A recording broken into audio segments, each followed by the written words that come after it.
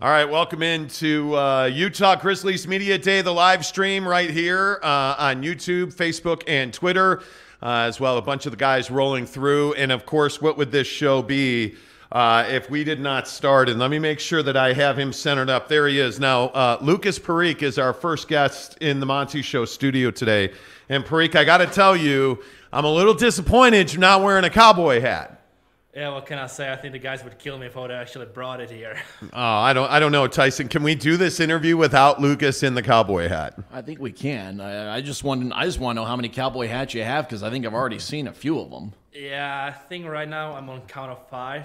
Four that I have here, one that is in Colorado. Nice. But yeah, so far only five. How are you enjoying the friendly confines of Maverik Center? Because you stood on your head last weekend in in Idaho, so we know you enjoyed your stay in Boise. Uh, and then the Rapid City Rush came in, and we got to talk about that game a little bit, Lukas, because you, they there was a small collision. They kind of I felt like they kind of ran the ran the goal on you there. But like, what was it like playing your former team? Uh, it was a, as I was saying before, no emotions. I think there was a lot of emotions going on at that game. I knew that Birdie's gonna send a team against me. That they will try to get in my head. There was spears, there were slashes, there were guys jumping on me. Like it's all what I expected. What I did not expect was me talking to the ref after first period and uh, Scott Burt yelling at me. That was kind of out of a line for, for him that I did not expect. But I think it was just his goal to get into my head. I just loved at him, loved in his face. Probably pissed him off. And hey, we won. That's all that mattered to me. Yeah. Well, the the best part of that I thought was that he wasn't just playing with you. He was hot. Like he was standing about five feet to my right on the other side of the glass. I was on the Grizzlies bench. Were you surprised that he was that upset? Like, what is your do you have good relationships on that team? Like, what's your relationship with those guys? No, I, I, I, I love those guys. I was in contact with Scott Burt over summer, just checking on each other. Like he's a great guy, but I kind of expected him doing that as soon as I, as soon as I was going to the ref, and I kind of looked over my shoulder and saw him just standing there. I knew that at the moment I'll turn around, he'll just start yelling at me to get away from the ref. So all that was kind of his plan, just to try to get in my head. That was awesome. You're a third round pick of the Kings. Where were you on uh, draft day when you found out uh, you got picked? I was actually at home back in Czech because I was originally predicted to go fifth round. So my agent said, "Hey, it'll, it'll be just easier. It, it would be way too long for you just to be at the at the arena." So I just stayed home, and I just got a text from my Czech agent, "Hey, just be ready on your phone." It was like mid third round. I was like, "That's not where when I'm gonna go." I sh-, like so I genuinely just went to take a shower. I'm getting out of the shower and I just get a call from my agent. Hey, you've been drafted 87th pick, LA Kings. I was like, no Wow. way. LA just ran out of shower, like still wet, like still water just everywhere. I just ran in the living room. My my dad, my mom was like, "What are you doing?" And I just stood in the living room, just like, "Wait, wait!" And suddenly, just the name popped out on the screen. I was like, "No way!" Is that one of those like surreal moments where like that's your whole life, man? Like, it's it's not easy to get to where you are. First of all, as a goaltender, you are you are an incredible athlete, and I, one of the things that really stands out to me is your size. But it's every, there's a lot of guys that have size, but you have movement, athleticism. Like, how much work was it for you to like get to the point where the Kings were ringing your phone? It's I would say it's it all starts when you're like 15, 14 years old, and you just progress throughout the years. And of course, it helped me when I was at the World U18 Championship uh, in Sweden, and I was actually starting as a backup to Jan Bednar, that is uh, right now drafted. I think he was second round to Detroit Red Wings. Great guy, and I was starting as a backup. And we the very first game was against Belarus, and we were losing 4-0 after first after second period. And that was the moment coach put me in the net, and I didn't let goal in, and I kind of stood in the nets in, till the end of the tournament. Yeah. I just got changed at the quarterfinals against against Sweden. So like it did help me a lot because like there's a lot of scouts looking at you, like the whole arena. Like the eyes are just on the teams because it's the last tournament before the draft is happening. So that helped me a lot for sure. Man, I can't imagine that, Tyson. I was thinking about uh, the two shutouts you had against Utah last year. The one I, I think you're talking about maybe more interesting series ever.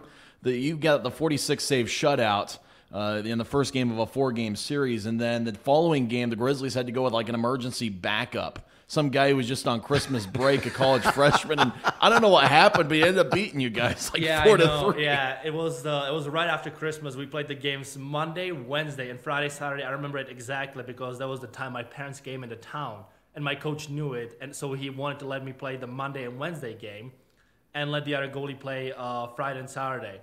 But the other goalie got called up, so at the end ended up playing all four games, and it was the very first Monday game. And whenever my my parents came to the states, I had horrible games. Like when I was oh. in Spokane, there were two two games out of three that I played there, and I got changed in both of them. Like there was horrible games. And my mom doesn't watch hockey because she get she gets super stressed just watching me. She gets super nervous. So it was the first game in a while that she actually watched me live.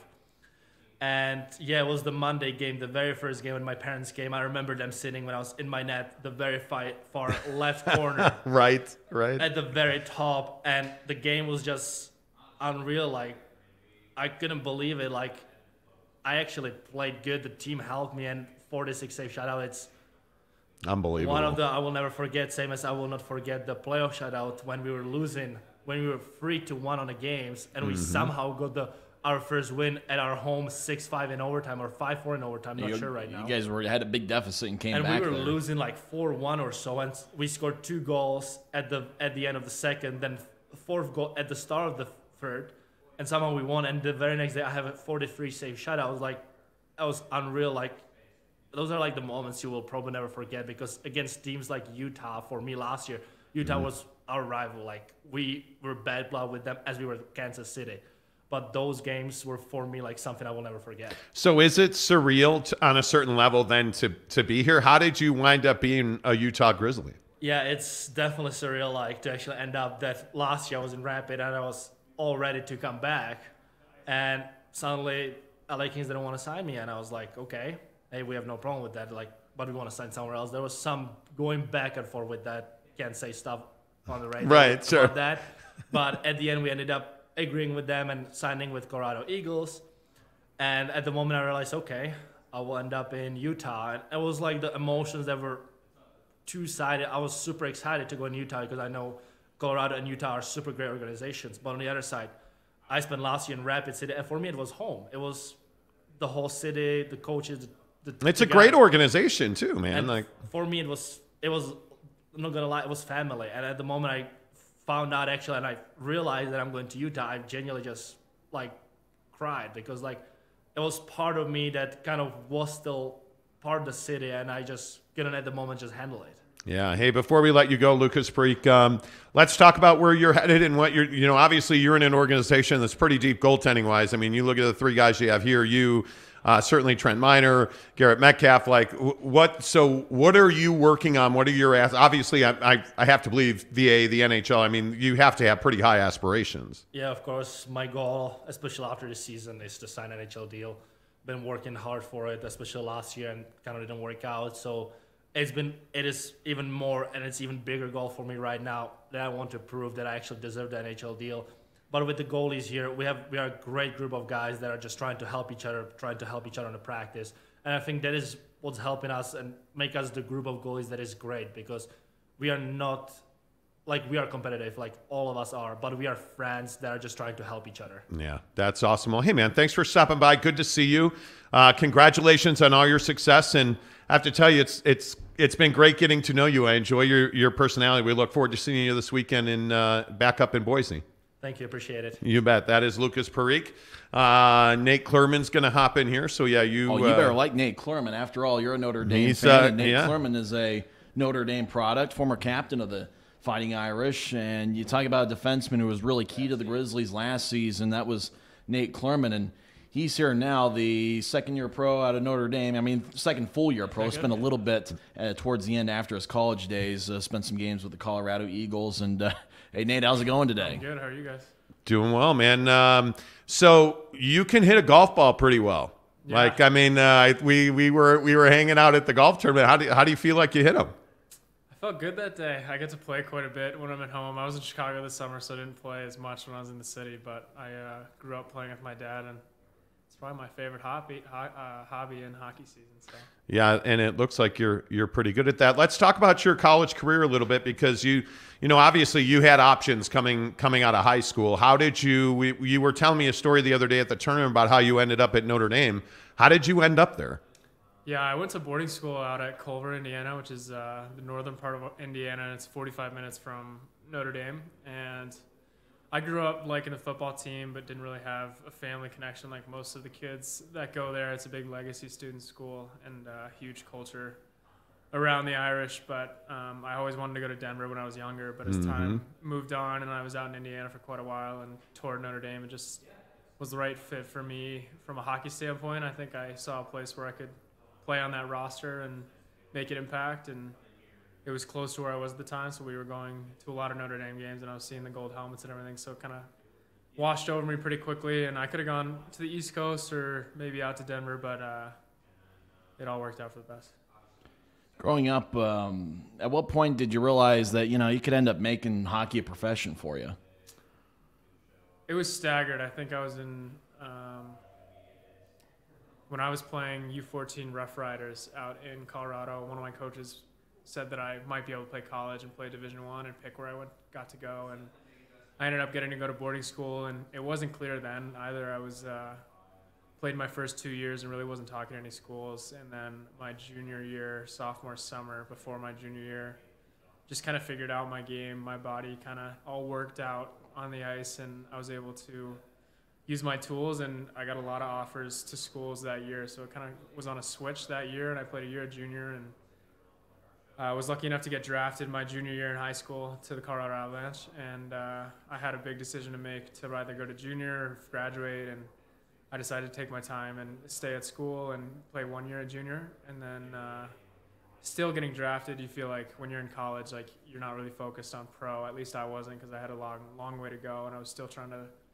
make that roster and be a top four defenseman there and make an impact in such like a storied program. So my focus is really didn't switch to pro until again I had a conversation with my coach after I think it was like halfway through my sophomore year. He was like, "I think uh, you could you could play pro with this game if you approach it the right way and uh, take the right route." And waited another year till my junior year, and the Avalanche offered me to sign out of school, and that was a tough decision for me. But um, obviously, went ahead and made that decision to leave and chase the dream of pro hockey. You're kind of a different cat though, man. Like you're you're really level. You don't have like I mean, you just followed Lukas Parik, who's about the most unlevel personality guy in the in the locker room, Yeah. I think, right? You're you're not rolling in here with cowboy boots and a cowboy hat. And I, I say that because I think that's a really important, you know, trait for a guy that's on the blue line. I think that's a really important trait for a guy like you. Like if if you had to describe your own personality in your own game, how would you describe the way you play hockey? Personality, I think, plays into my game. I think I'm very calm all the time. Um, I don't get riled up easily, and I think it's. Uh, I've learned over the years that that's not a weakness; it's a strength of mine, and I put it into action on the ice to try not to get flustered and anything that's going on the ice. Like I kind of just bring it back to just being calm, and that's the best part of my game is being able to read the offense, read the forecheck, take things within with my eyes, and make simple plays or like use my ability with my feet to uh, make some more plays when they're necessary. But I think just being calm it allows me to like see the game for what it is when it's happening and not get caught up in things that are gonna take my focus away, whether it's like scrums or the score or Right, power right. plays or penalty kills. I think just being focused on like what I need to do and what I can control is best. I think two of my favorite personalities over the few years I've been here were a couple of former Notre Dame guys, Joe Wegwerth and Jack Jenkins. Uh, how, how how long were you teammates with them at Notre Dame? I was teammates with them for one year. I actually saw Jack this summer in Chicago. One of our friends got engaged who was at Notre Dame as well. So we were at a uh, engagement party together, and Wags was in his same class. So they were good. Uh, they were good to me when I was a freshman.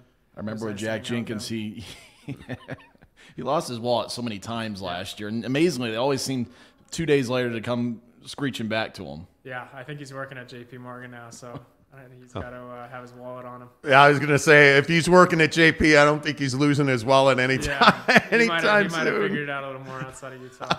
That's fabulous. You know, it, it, you guys have an interesting group of defensemen on this team, and it seems like you have a lot of Midwest college guys in, in this in that locker room. But Talk about this group of defensemen. There was so much made coming into this season about the fact that the Grizzlies had lost a lot on the blue line and how do you replace that? I feel like that hasn't even been a conversation since you guys broke camp. It seems like the blue line's really been a strength. Obviously, Matt gets the C on his chest. And I mean, you, do you guys feel good about what you have back there as a group? Absolutely. I think just as guys, it's a great group back there. I think that's what you got to start with is you got to have a group back there that can communicate with one another and be friends off the ice, but also on the ice. Like you got to hold each other accountable because no one's gonna tell you to change your game more effectively than the guys next to you. So it's nice that we can all hold each other accountable, and we know we can hold each other accountable because we're all good enough. Like we got a good group back there. Nielsen, he's got a huge shot. Um, he's played a lot of pro hockey. Same with Martin and uh, Bartley. Obviously, he's like done a ton of great things in the hockey world, and he's still such a great hockey player, but also just a good presence in the locker room. I think on the bench for the guys to see uh, a guy who's played that many games, just how he approaches his day. And uh, Shears has been great since he came in last spring. He's a solid uh, D man. He's been nice to play with back there. Just pretty level headed. And Mac, uh, I think Mac's got a lot of tools. He's a good defenseman, up and down, and uh, can bring it. He brings it every night. Really, he's tough. And I think our other defensemen too. Those are the guys who uh, just push each other. We all push one another on the ice every day. And an eight-game road trip coming up. Uh, how yeah, you think about the home games and the road games? How different is the road routine as opposed to routine for a home game? Very different. I think uh, just scheduling your meals is a big part for me, at least. I'd like to do things a certain way when I'm eating and drinking before games and after the fact. So I think traveling these different locations, especially guys who are in their first, second year, or especially Mhm. first year, like these first trips, it's hard to get a routine down, and sometimes you can get a little out of whack. But once we start playing midweek games and um, we play more games, you get a little tired in Tulsa on a Tuesday when you're there for a week, and you got to find a way just to. If you don't have your A game, like you, you got to have your B game. You got to bring Yeah. something out of you that's gonna contribute to the team, and it's about getting rest too. On the road, it takes it out of you. If you've done these long bus rides to Boise, or the bus could be air could go out like it did last time, and we could all be sweating, and then the guys have to play in Ogden the next night. So you just got to battle and understand that everyone's on the same playing field, especially when you play the three and threes. I think it's really important to. Well, you know, and it's interesting you talk about those road trips. Life in this league is not easy. I mean, I, I've covered the NHL, I've covered the AHL. Like, it feels like you guys have a, I'm not going to say a difficult existence because, uh, you know, obviously I, I think you have one of the better arenas. Like, but those road trips in this league, at least now you guys are flying. But I mean, you you're in some interesting schedule configurations. You talk about staying hydrated last weekend. Like, how difficult? Because you've played up as well. So, how difficult is life in the ECHL? Is it is it more challenging to thrive down here? Yes, I think the travel is a big factor, and on the road especially. I think when you're when you're on the AHL and the NHL, um, like you said, like the travel is catered towards helping you feel good. With a condensed schedule, I think the ECHL is very, uh, to be honest, like budget oriented and getting guys there and playing these games back to back to back on weekends and concert venue schedules. So uh, we pay the price a little bit, I think, with our recovery, but like I said, like everyone's on the same playing field when you show up for the game. So if you're making excuses for your team, like the other team can make those excuses too. But like you got to duke it out for 60 minutes and see what happens. Well, hey Nate, thanks for stopping by. I appreciate you. Always good to talk to another Notre Dame guy. Although I did not go to Notre Dame, I am a huge Notre Dame fan. Yeah. So, are you a Notre Dame football fan, by the way? I am. Yeah. You are, I think okay. I got the uh, the got the bug my sophomore year. Yeah. Well, hopefully the season ends soon because we haven't had a whole lot to hang on to. Bad start, but Hey, at least you guys beat BYU. they built some momentum. There's Tyson with the yeah. At least you guys beat B. Yeah, you went to Vegas. And I beat wanted to go to that game. I, I for some reason I couldn't find a ticket. Me too. It looked good. Yeah, it's a it's a tough game to get. Nate, thanks for stopping by. I appreciate Thanks, you, man. Appreciate it. That's Nate Clurman, uh, D man for your Utah Grizzlies. And Tyson, I'll tell you, it's interesting.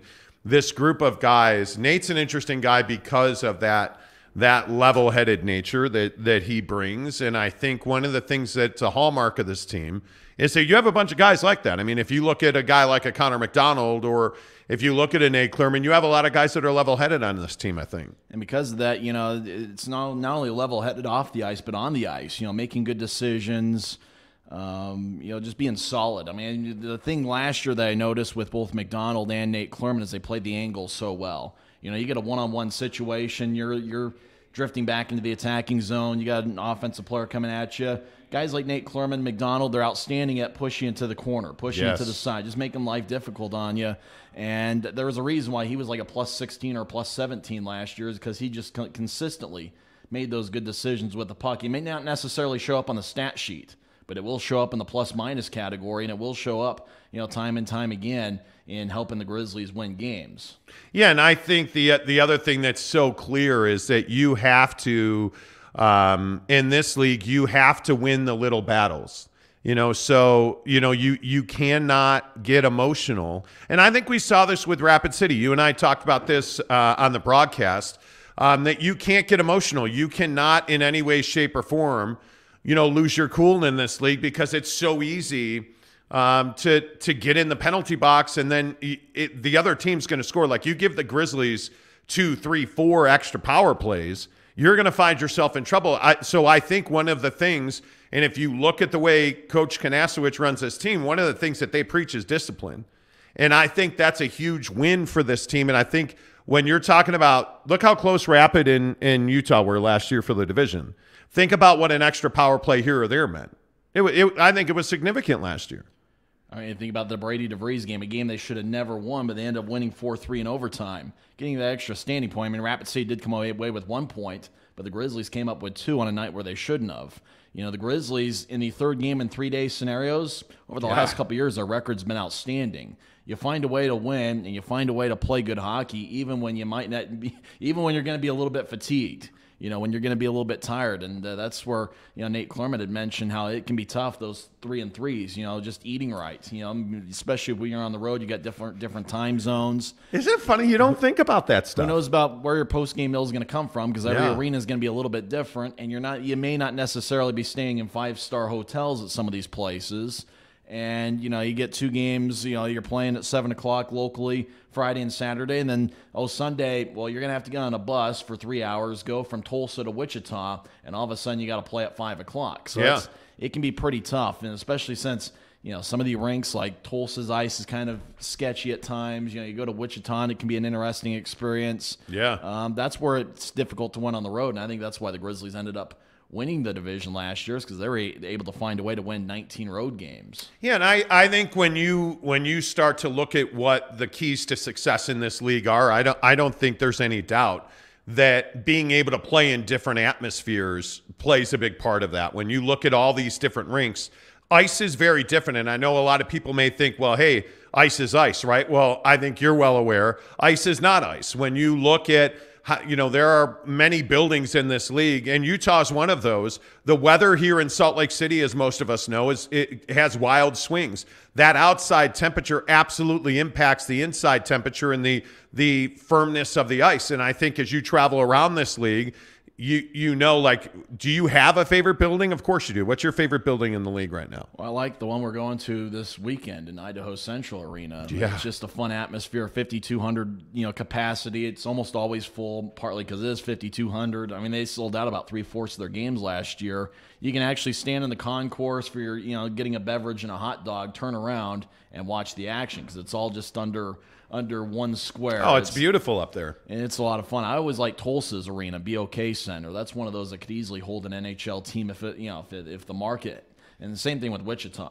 I mean, the NCAA tournament's been in Wichita many times. Many so, times, yeah. so you get places like that that can be a lot of fun. But then you get a place like Kansas City. It's a nice building, but it holds about five thousand. Or you go to a place like Allen. If you're playing on a high, we had a game a few years ago. Their home opener was on a Friday night in the fall.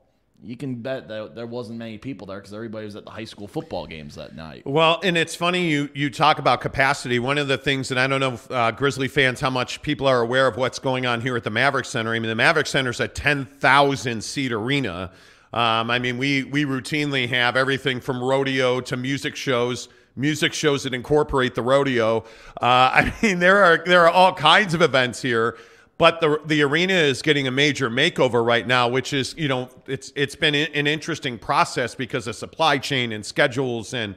But you have a huge center hung scoreboard that's going in now. You have all these beautiful, you know, that little scoreboard ribbon that goes around the upper deck here at the Maverik Center.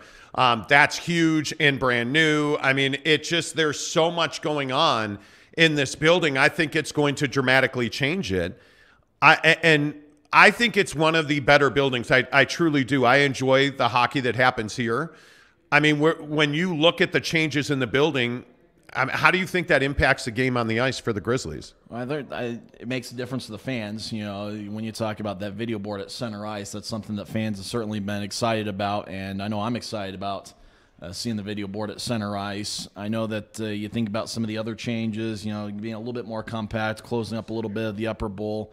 I mean, that's pretty good as well, and I think it's going to be an interesting. Um, Gonna be an, an, an, I just lost my train of thought. Is yeah, well, your favorite Utah Grizzly just walked I in. thought he played outstanding last weekend in his first two games. Cameron Wright, the forward of the Grizzlies, led the team with 13 shots in two games against Rapid City.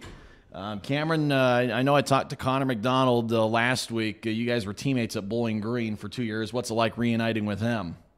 It's really good. You know, um, it's nice to know someone in the uh, organization. He makes you feel comfortable, and, and he's obviously a really good player for us. And it's it's nice to uh, to catch up and, and, trade some old stories and, and enjoy each other's company.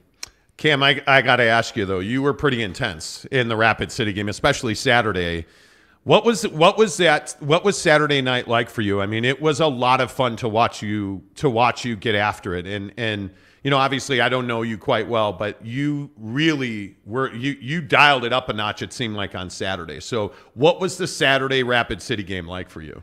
Yeah, I think obviously, you know, my first two pro games there is just kind of figuring out what uh, what it takes and kind of what to expect in the league, and, and obviously Friday was a bit of a along with the preseason games, a little bit of a feeling out process. But I think Saturday, you know, I kind of just tried to remember, you know, kind of what got me here and, and, and what my role is on this team. And, and I thought, um, you know, I also wanted to win. You know, it, it had obviously been yeah. one game, but three games as well without winning, and, and we were kind of finding ways to lose. So, so it was wanted to definitely get the two points, and it was good to see us come out with it for sure. Well, you'd gotten used to winning a little bit last season. What was the experience like winning a national championship? it was unbelievable. Yeah, it was definitely. Uh, something that I'll remember forever. It was um, really cool. You know, I transferred to Denver with the intent of, of trying to win a national championship, and it's crazy that it that it happened. And obviously, it was a really fun run and, and really fun celebration as well. Do you ever? I mean, do you? And obviously, you do look back on on those times. Like, look back on your college career. Look back on your on your high school career. What are the moments that have made you into the guy that's sitting in the studio right now?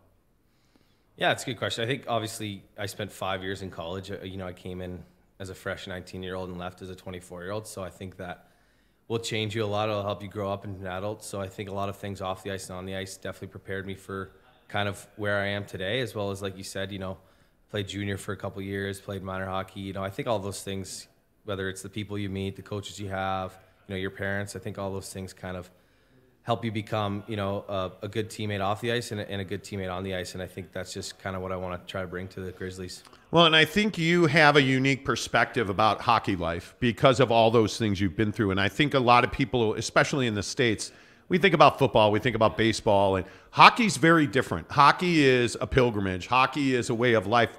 Like you talk about family, and I mean, it you you guys have to be all in together, right, to to make it work to perform at the level that you performed at and where you eventually wound up. I mean, that takes a whole team of people doing and helping and supporting you. Mm-hmm. I agree with that. Yeah, obviously it's not just me, and and I've had a lot of good support around me over my uh, life to be able to get where I am. Like you know, from my mom to my dad, stepmom, stepdad, siblings, and all that, coaches, like I said, teammates, and and obviously you know it's just it's a dream come true to be able to play pro hockey, and and it's one that I don't take for granted, and one that I want to try and stretch yeah. out for as long as I can.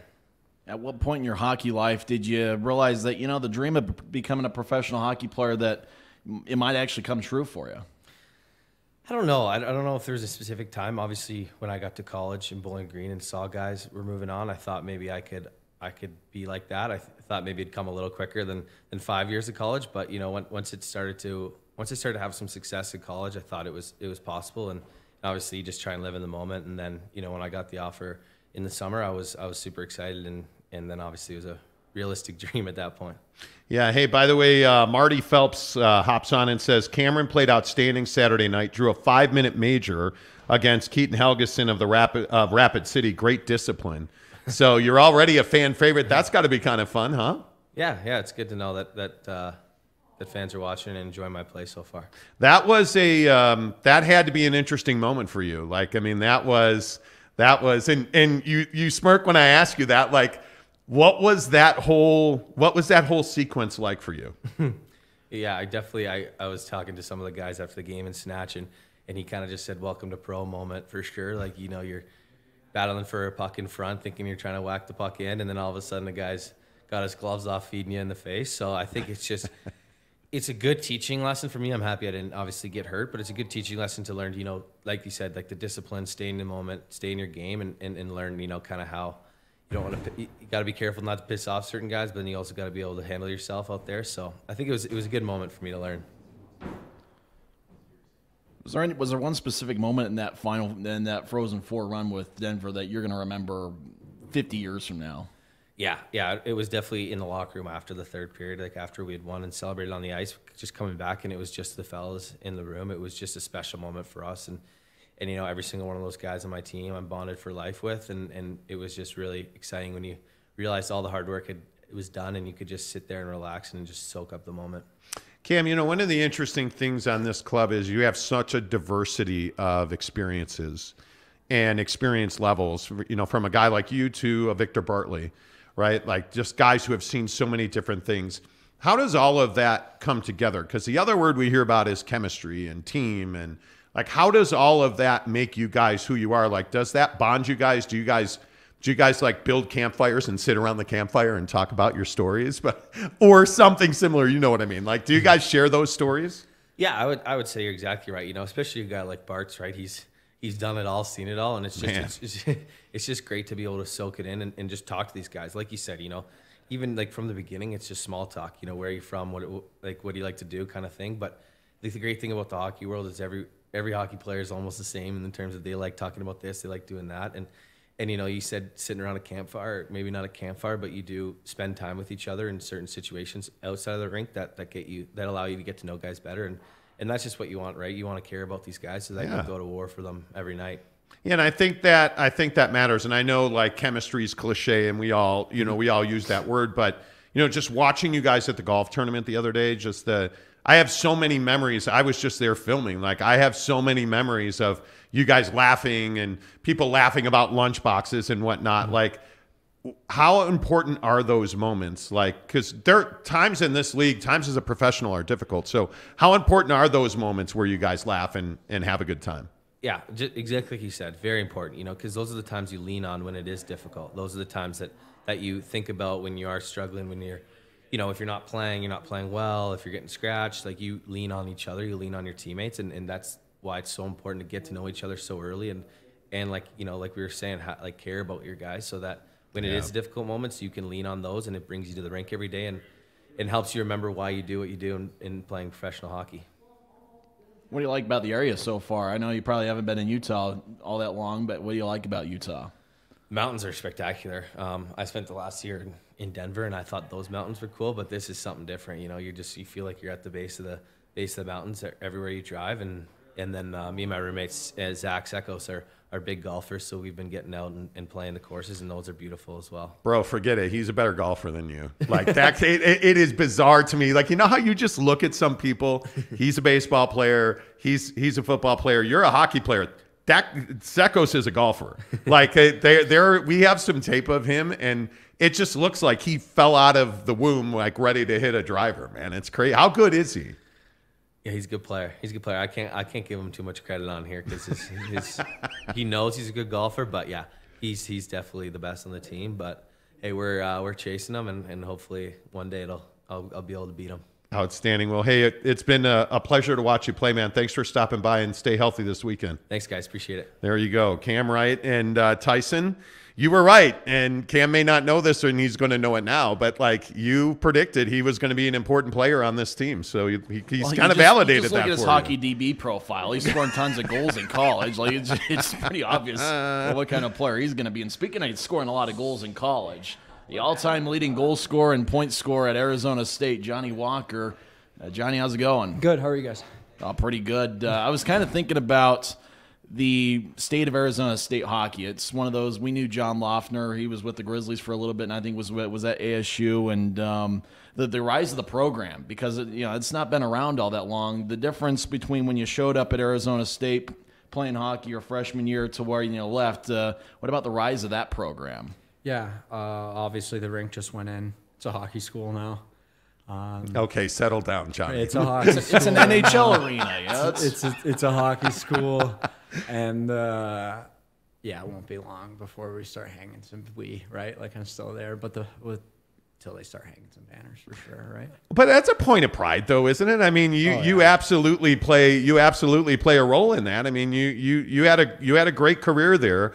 Like, talk about your hockey journey. What where you know?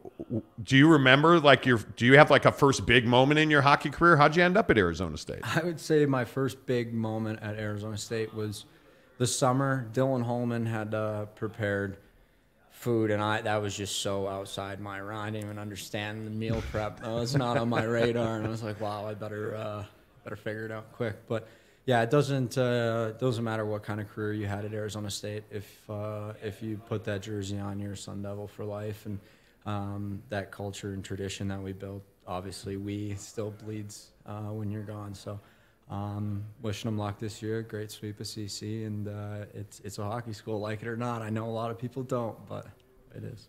I remember you spent one year. I think your freshman year, Joey Raats was playing his last year at Arizona State. He ended up playing a year Yeah. with with the Grizzlies. Remember about Joey? Ratsy, just um, one of the best teammates I've ever I've ever had. Uh, genuine, um, yeah, just somebody that you, you love to have in your corner, and um, yeah, obviously uh, struggled a bit there uh, with with uh, with cancer, but doing doing much better now. So Is that your? And I'm going to be completely awkward, and I should know this before I ask you, but I don't. Mm-hmm. Um, you're doing a fundraiser, and I know there's been local media on that or whatnot. Plug that. Plug the heck out of that. Tell us about that. How can we help you with that? Yeah, so uh, he was uh, the idea of both of us. Uh, at, towards the end, uh, he got a lot of funding, and, and it, we struggled this summer to get it going. But next next year, we're we'll uh, we'll end up doing a, a fundraiser to, to to bring more attention to men's health. I think uh, all health, obviously, but I think um, Ratsy will talk about this too. But um, just being in tune with your body and aware of what's going on, and, and if something doesn't feel right, to make sure you uh, you're you're at least giving it the attention it needs. So um, I know, uh, obviously, one of the worst things that could happen, and and, just uh, I think being a hockey player, it hurts uh, having a teammate. You know, Yeah. I think I think this sport, you you just you're bred to take care of of your teammates, and, and you just can't with something like that. But uh, he's doing better, and um, definitely definitely uh, important to, to, to be aware of, of, of what's going on because it's it's real and it's dangerous. You know, you're an interesting cat, dude. Like, I, I mean, I, I've been around a lot of professional athletes in my life, and you're not you're not normal. You're a you have an incredible personality. You have this incredible drive. Listening to you just jaw jack with the Rapid City bench the other night was unbelievable. Like, what makes you tick? Who the heck is Johnny Walker? Because you are not your garden variety guy. Right. Uh takes a lot to to well, I guess when I snap, I snap, but I uh, I just like to have fun. I uh, I love when when the other team hates me. It just it, it helps. It really helps. Um, You got a lot of help then the other night because they were not fans of Johnny Uh, Walker. I, I, have an, I have plenty of friends. I don't need any more. So uh, no, I uh, it's it's a role. Um, I think um, I'm pretty good at getting under someone's skin. I, I watch guys a lot and and, and tendencies and, and how to uh, to really piss someone off. So. Um, yeah, if you ask my mom, I can irritate anyone. Uh, I, I'd say I'd say that's uh, I, I enjoy I enjoy getting in, in, in people's heads for sure. What was the majority of the goals you scored at Arizona State? Were they one timers from the circle? Were they deflections out in front of the net? What was kind of uh, your go to uh, goal scoring uh, maneuver? Uh, I, I mean, seventy goals. Yeah, I'm just kidding. I'm kidding. Uh, no, there was there was a lot. I mean, obviously, was given the opportunity to be on the power play, um, and and work in different spots, and we had a great team. Great, great. I mean, it, it really. I just happened to be in, in that spot. Whatever. All it team guy out there. Right. yeah, right. Uh, He uh, no, but seriously, I uh, the I I I mean, it, it, it's it's all everybody around me really, and I was uh, I was just a, a product of, of that and, and being in the right spot. You know, I, I think one of the other things is you do you, you do a job on this team. I mean, there's no doubt about that. And how much pride do you take in that? Because you're not going to be the biggest guy that you are going to go up against. Mm-hmm. You know, when when you're a grinder guy, you find yourself in a corner, you find yourself in front of the net. Like that's a tough way to make a living, dude. Like how how how much pride do you take in that? Oh, I love it. The uh, it's supposed to be hard. If it were easy, right? Yeah. But uh, I, I love it. I, I like to compete. Um, I think that it just comes down to, to wanting it, and I uh, do want it. Um, and yeah, it's me or you, right? Especially at this level, at the at the pro level, you're you're trying to keep a job and absolutely anything to, to keep a job or anyone. Yeah. Um, Anyone. anyone yeah not any, everyone anyone um, but yeah it's uh, it is a job and I, I love doing it and maybe every once in a while i can score a goal too to help out the boys nice. How fun was the playoff? I know you weren't able to get in too many of the playoff games, but that playoff run uh, had to have been something else. yeah it was awesome uh, again like this year just a great group really great group uh, guys came to the work the, the work the rank and worked uh, and when you have that compete every day it just it's contagious and i think that's what we saw last year and you'll see this year is um, just a tight knit group that that wants to win, and that that that's all week too. I think we've, we've got a, a professional group that comes in and, and and dialed, ready ready to work. Is that big? Is that a big part of the reason why so many guys decided to come back this year? I can only speak for myself. I, I had an unbelievable experience here. I couldn't. Uh, I, I mean, just treated fans, players, staff, everyone all together. I, I couldn't. Uh, I couldn't imagine going anywhere else. I, I love it here. So I'd imagine that the boys are, are the exact same. Well, you know, it's interesting too because we talked to you over the summer for for a few minutes when you when you made that decision to come back. You do not look like you looked over the summer now. like you've you've got you've got the beard on, like the hair's gone. Like how evolving is the look? Like are you a clothes guy? Are you a shoes guy? Because you, I got to tell you, not for nothing. You have amazing hair when your hair is in full form, dude. Like, so what's the evolution of Johnny Walker's fashion and and his look? Uh, the hair was actually uh, to shave shave it along with Ratsy. A few of the boys shave their heads, so um, that's that's where that is. Uh, I, I love clothes. I love shoes. I, Yeah. uh, I think it's you got to be able to express yourself, do what you want when you want, and uh, everybody else can figure it out on their own. Right? it's uh, Yes. as soon as you're trying to to impress or please someone else, it's there's an internal battle. So I uh, I get up and put on whatever I find, and hopefully it matches. Nice. Well, hey, we appreciate you stopping by. Thanks for uh, sharing your story. We'll talk to you soon. Thanks, guys. Appreciate it. There you go, Johnny Walker. Uh, you know, it's it's so it's so fascinating to me the the uh, the dichotomy, the differences in personalities um, of these of these guys. I mean, it absolutely makes the hockey club as uh, Jake gets uh, Garrett Metcalf There- on, on the he is, hot the seat. Salt Lake City native. But before we get to Garrett, um, the thing about Joey Raats is he was hit with a rare form of cancer uh, about uh, six months ago. That was, I think, in, in April or May uh, of 2022. And we're, we're certainly thinking of Joey Raats, the former Grizzly, for sure. Yeah, and Johnny's done uh, John, Johnny's done a lot of work there. But the artist, uh, known as as Garrett Metcalf, joins us. Garrett, thanks for for joining us. How are things? How are you feeling, man? Good, yeah. Thanks for having me. I uh, feel good. So it's good to get preseason over with, and you know, obviously we split the first weekend, and I think we could have came out with with both wins, but uh, good for the guys to get going here. What was your experience like in AHL camp with the Calgary Wranglers? Uh, it was good. It was hard because that was my first competitive skate in seven months. Uh, So obviously a little bit of an adjustment period, but it was good to uh, kind of dive in, especially at that pace. They're a very skilled team. Uh, so I was just very grateful for the opportunity. You know, you you spent a lot of your summer rehabbing. You know, we've we've talked about that a couple of times. Like, how much of a grind is that? Because I think you're out of sight, you're out of mind, so people don't really think about you know that that you guys work. Like this has been a this has been a year long thing for you. Like it's been a grind. So mentally, how are you doing, and physically, how are you doing with your shoulder? Yeah, I feel great. Uh, I don't have the strength that I had before uh, surgery, but I think that's, I mean, I can't expect anything other than that, but the mobility is great. Uh, I feel pretty good on the ice. It was good to get in the one preseason game that I did get to play. Uh, I felt a little rusty, but I, again, I think that's to be expected.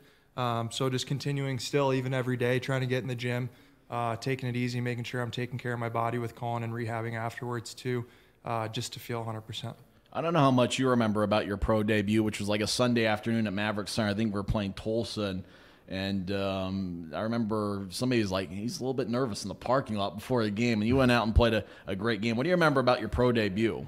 Uh, I remember that my family was here, which is very special because for those that know, my dad refed pro hockey for 26 years. So I grew up coming here, the old East Center, with my older brother, watching my dad ref. Uh, like you said, it was against Tulsa. We won three to two in overtime. Uh, I remember Tim and Ryan bringing me into the uh, coach's office after and asking how it was. And uh, playing at Mercyhurst and then LIU, we were the last place teams in college hockey. So I think on average, I faced like 37 shots for those last two years and I think it was like 12 shots going into the third period. So wow. it was completely different. Yeah, totally 100, 180 degree difference. Uh, so for me, just trying to stay in the game mentally, um, and like you said, maybe a little bit of nerves before, but after I got that first shot, I felt like I settled in great. And uh, obviously, to get your first pro win at home, considering everything I just said, family, family in attendance was very special for me. Is it easier as a goaltender to face a lot of shots, or you know, is it one of those you get into more of a rhythm than as opposed to a game where you're probably seeing 20 to 25 shots? Yeah, I, I don't know if I'd say one's easier than the other. I think when you're used to one and then the other happens, it's definitely a bit of an adjustment mentally. Like, what do you do to keep yourself busy and stay in the game?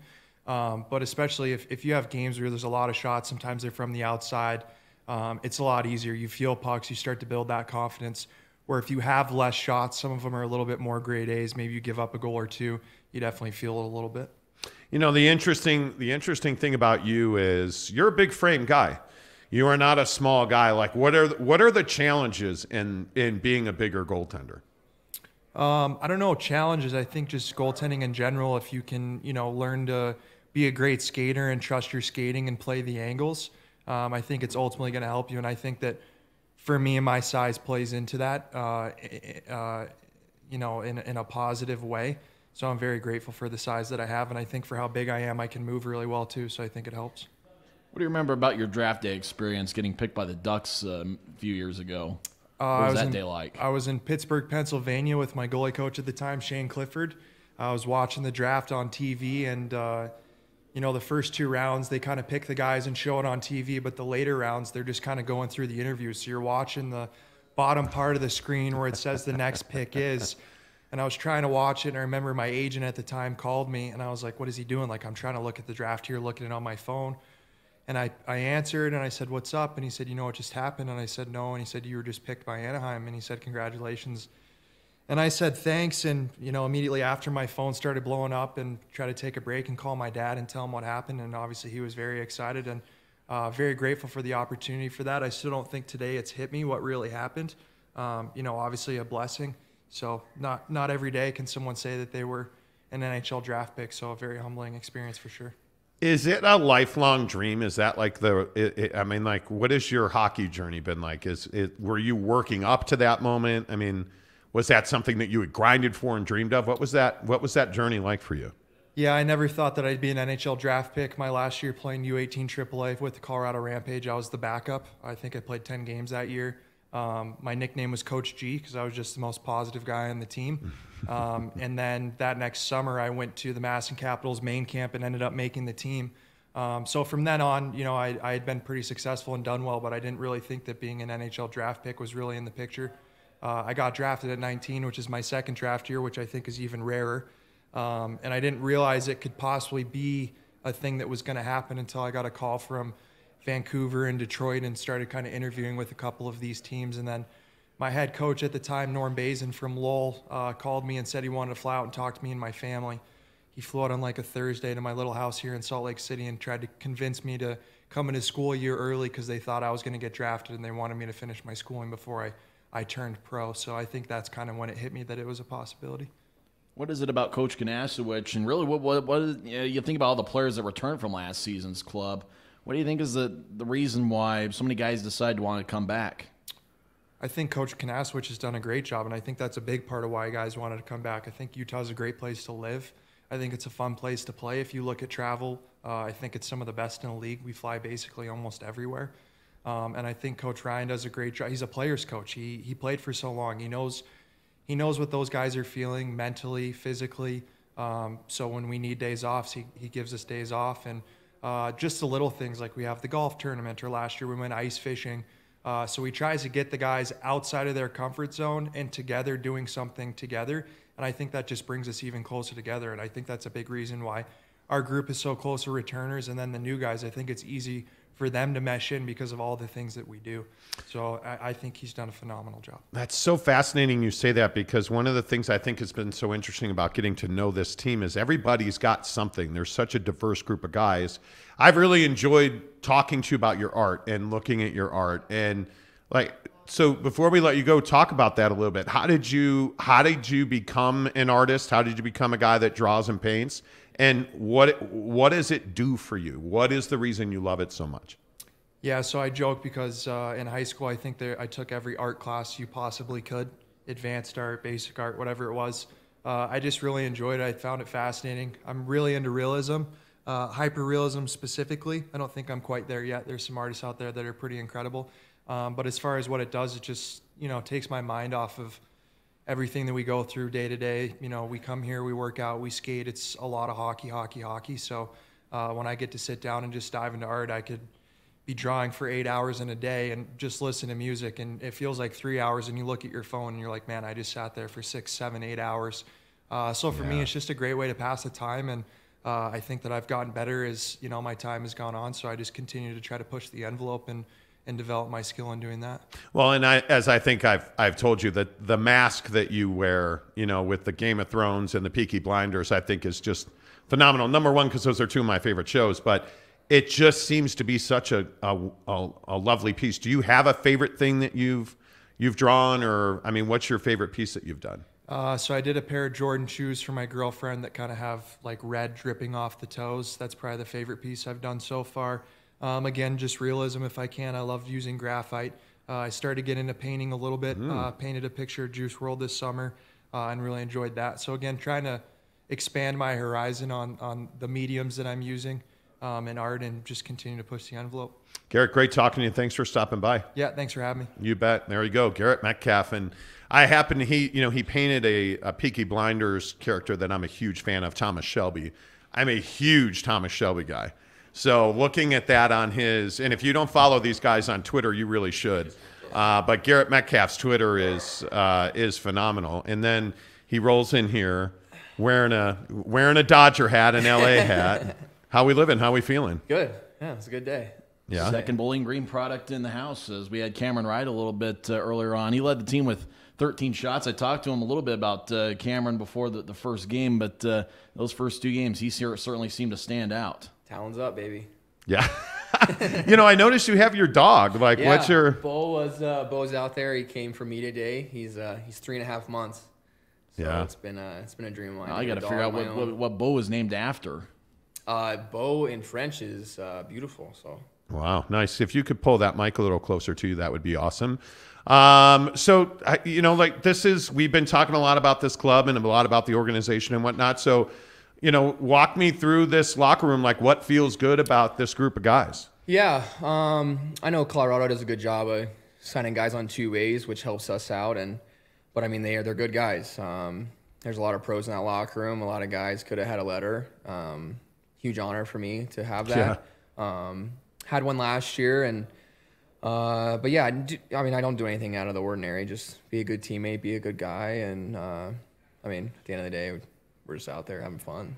You know, that's what your coach says about you. I don't know if you know that. He told us, uh, Coach Kinasewich told us you just do everything well. Yeah. Um, he, that you're, I mean, do you take pride in that leadership when yeah, you hear I your think, coach say uh, that? A lot of it's just habits. Um, I mean, that's kind of what being a pro is about, doing things the right way. And a lot of guys in that room, I should say everyone in that room does does things the right way. And I think that's why we're so successful at at times. And yes, I know things can get rocky, and but I mean that's hockey. It's a game of mistakes. And uh, as as Mm-hmm. long as we can cut down on those, I think we can put together uh, something special again. There were some interesting memories and moments from last season. Lukas Parik wanted to talk about his 46 save shutout quite a bit in late December.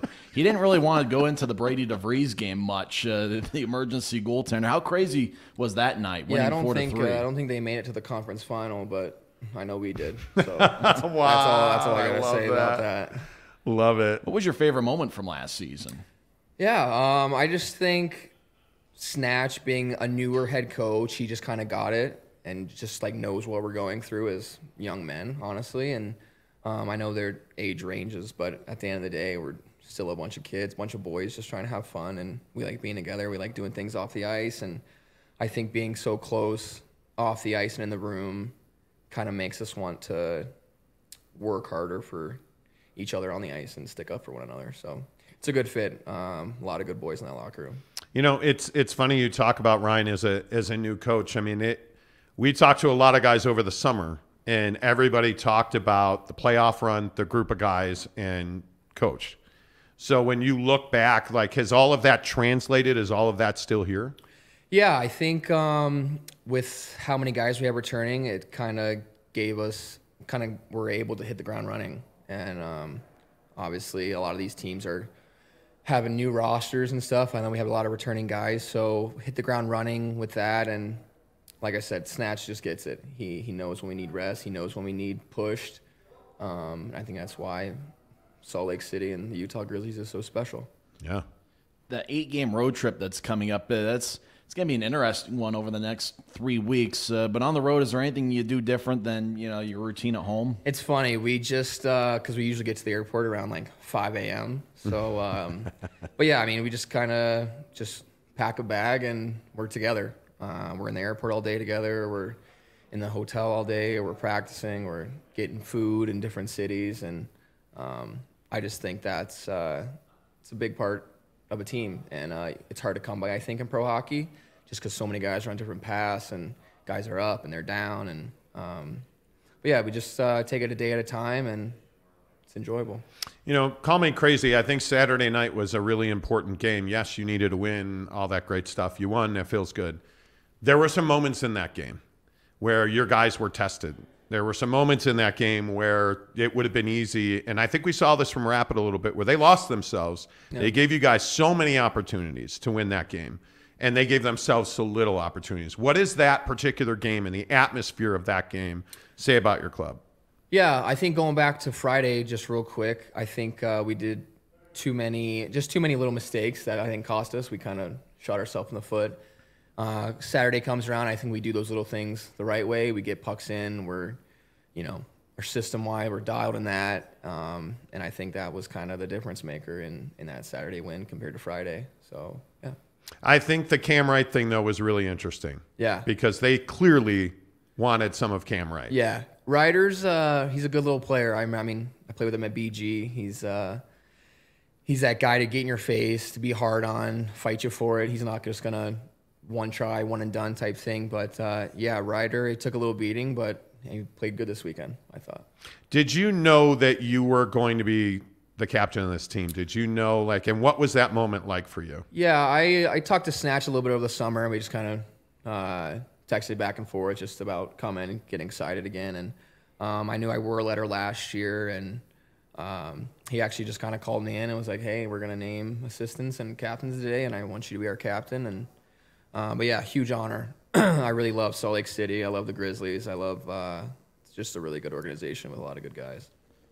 Did you root for a lot of the Ohio teams, and if so, which Ohio teams did you root for? You more like Cleveland? Or Yeah, like I uh, I actually lived in Cleveland this summer with my girlfriend, so uh, I'm a big uh, big Browns guy now. I have see- been in the past a little bit, but not. Uh, I've never lived there, but to see it, just being in the city, it was uh, it was pretty cool. I was stalking your Twitter this afternoon a little bit, and there's a lot of Columbus. There's some Rick Nash stuff on there, and like, there's just it's just not necessary. I don't see any Blackhawk stuff on there. Oh, like, man. frankly, Yeah. being a Chicago guy, like you know, I Yeah. played for the Chicago Steel in the U.S. yeah, I a was. Uh, I played in Chicago for basically two years um, with the Steel, and eventually went to Youngstown and did a little playoff run there. But uh, but yeah, I uh, big Columbus fan. Yeah. I got some buddies on that team and good guys and just kind of guys I've grown up with. So What was it like a couple years ago playing for the Cleveland Monsters? yeah, that was a really big uh, dream come true for me. Um, being raised in Columbus and being in the American League for the Blue Jackets was pretty cool. Unfortunately, I had a little injury that set me back, but um, yeah, stronger and better than ever now. you know, and I, I'm in in all seriousness, I mean, like you're not getting any younger. Yeah. you're not old, but you're at a really important time in your career. Have you thought? Have you looked forward? Have you thought about? Have Yeah. you have you had that conversation with yourself? Um, I think a little bit. It, I think it kind of comes around like every summer. You just kind of think like, oh, like what else would I be doing? Um, but yeah, I just turned 27 yesterday. I'm definitely. Oh, happy not- birthday, Thank man. you. I'm not getting any younger. Um, but I think that's kind of. I mean, you got to be a pro. You got to take care of yourself, take care of your body, and I'll uh, try and play as long as I can.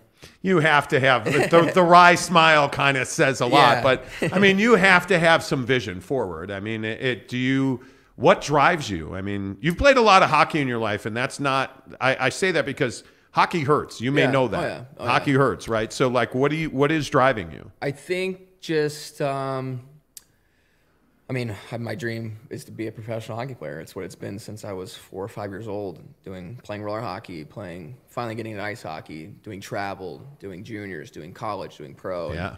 um, I don't think a lot of guys get to do this, and um, so yeah, I'm just gonna try and enjoy it while I can, and when that next step in my life comes, I'll hit it head on. Yeah.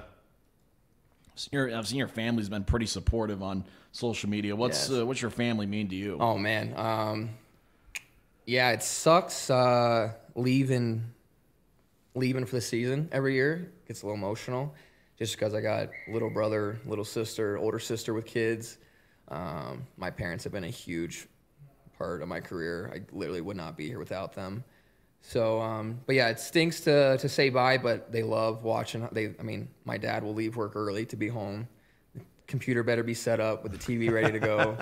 um, but yeah, we're gonna try and uh, we're gonna try and get him out here this year. Yeah, you have to. It's a long flight, so uh, we'll see what we can do.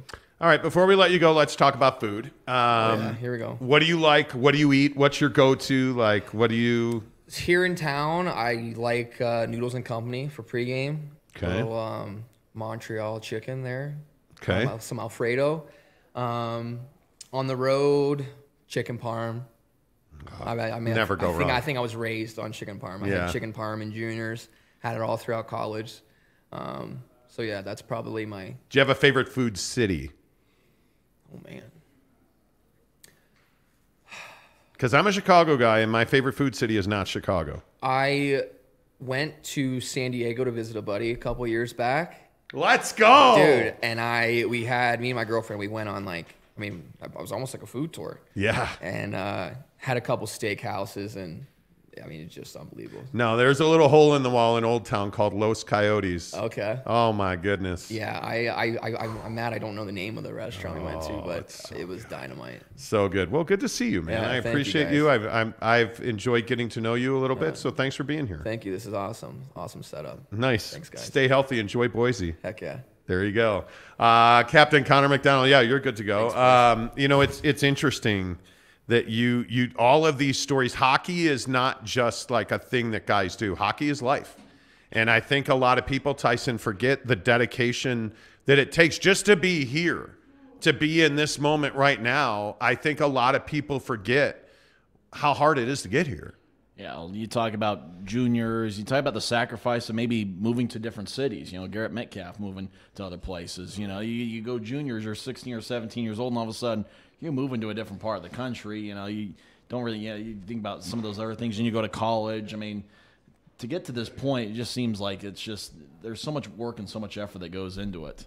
And I'm really excited to see Brycen Martin here. He's been a former third round pick uh, of a few years ago. Uh, how everything's going. Things are good. I'm excited to be here.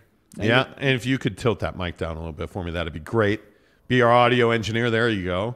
Um, you know, we it was great talking to you the other day um, as you were dying after doing doing drills. Like, how how tough is hockey? Because we were just talking to Connor about this. Like, I think people don't realize. I think people think physical, they think football, but like hockey's hard. Like, it's hard on your body, and you guys work really hard. So, how do you stay in shape, and how much of how much of a pounding is hockey on your body every year?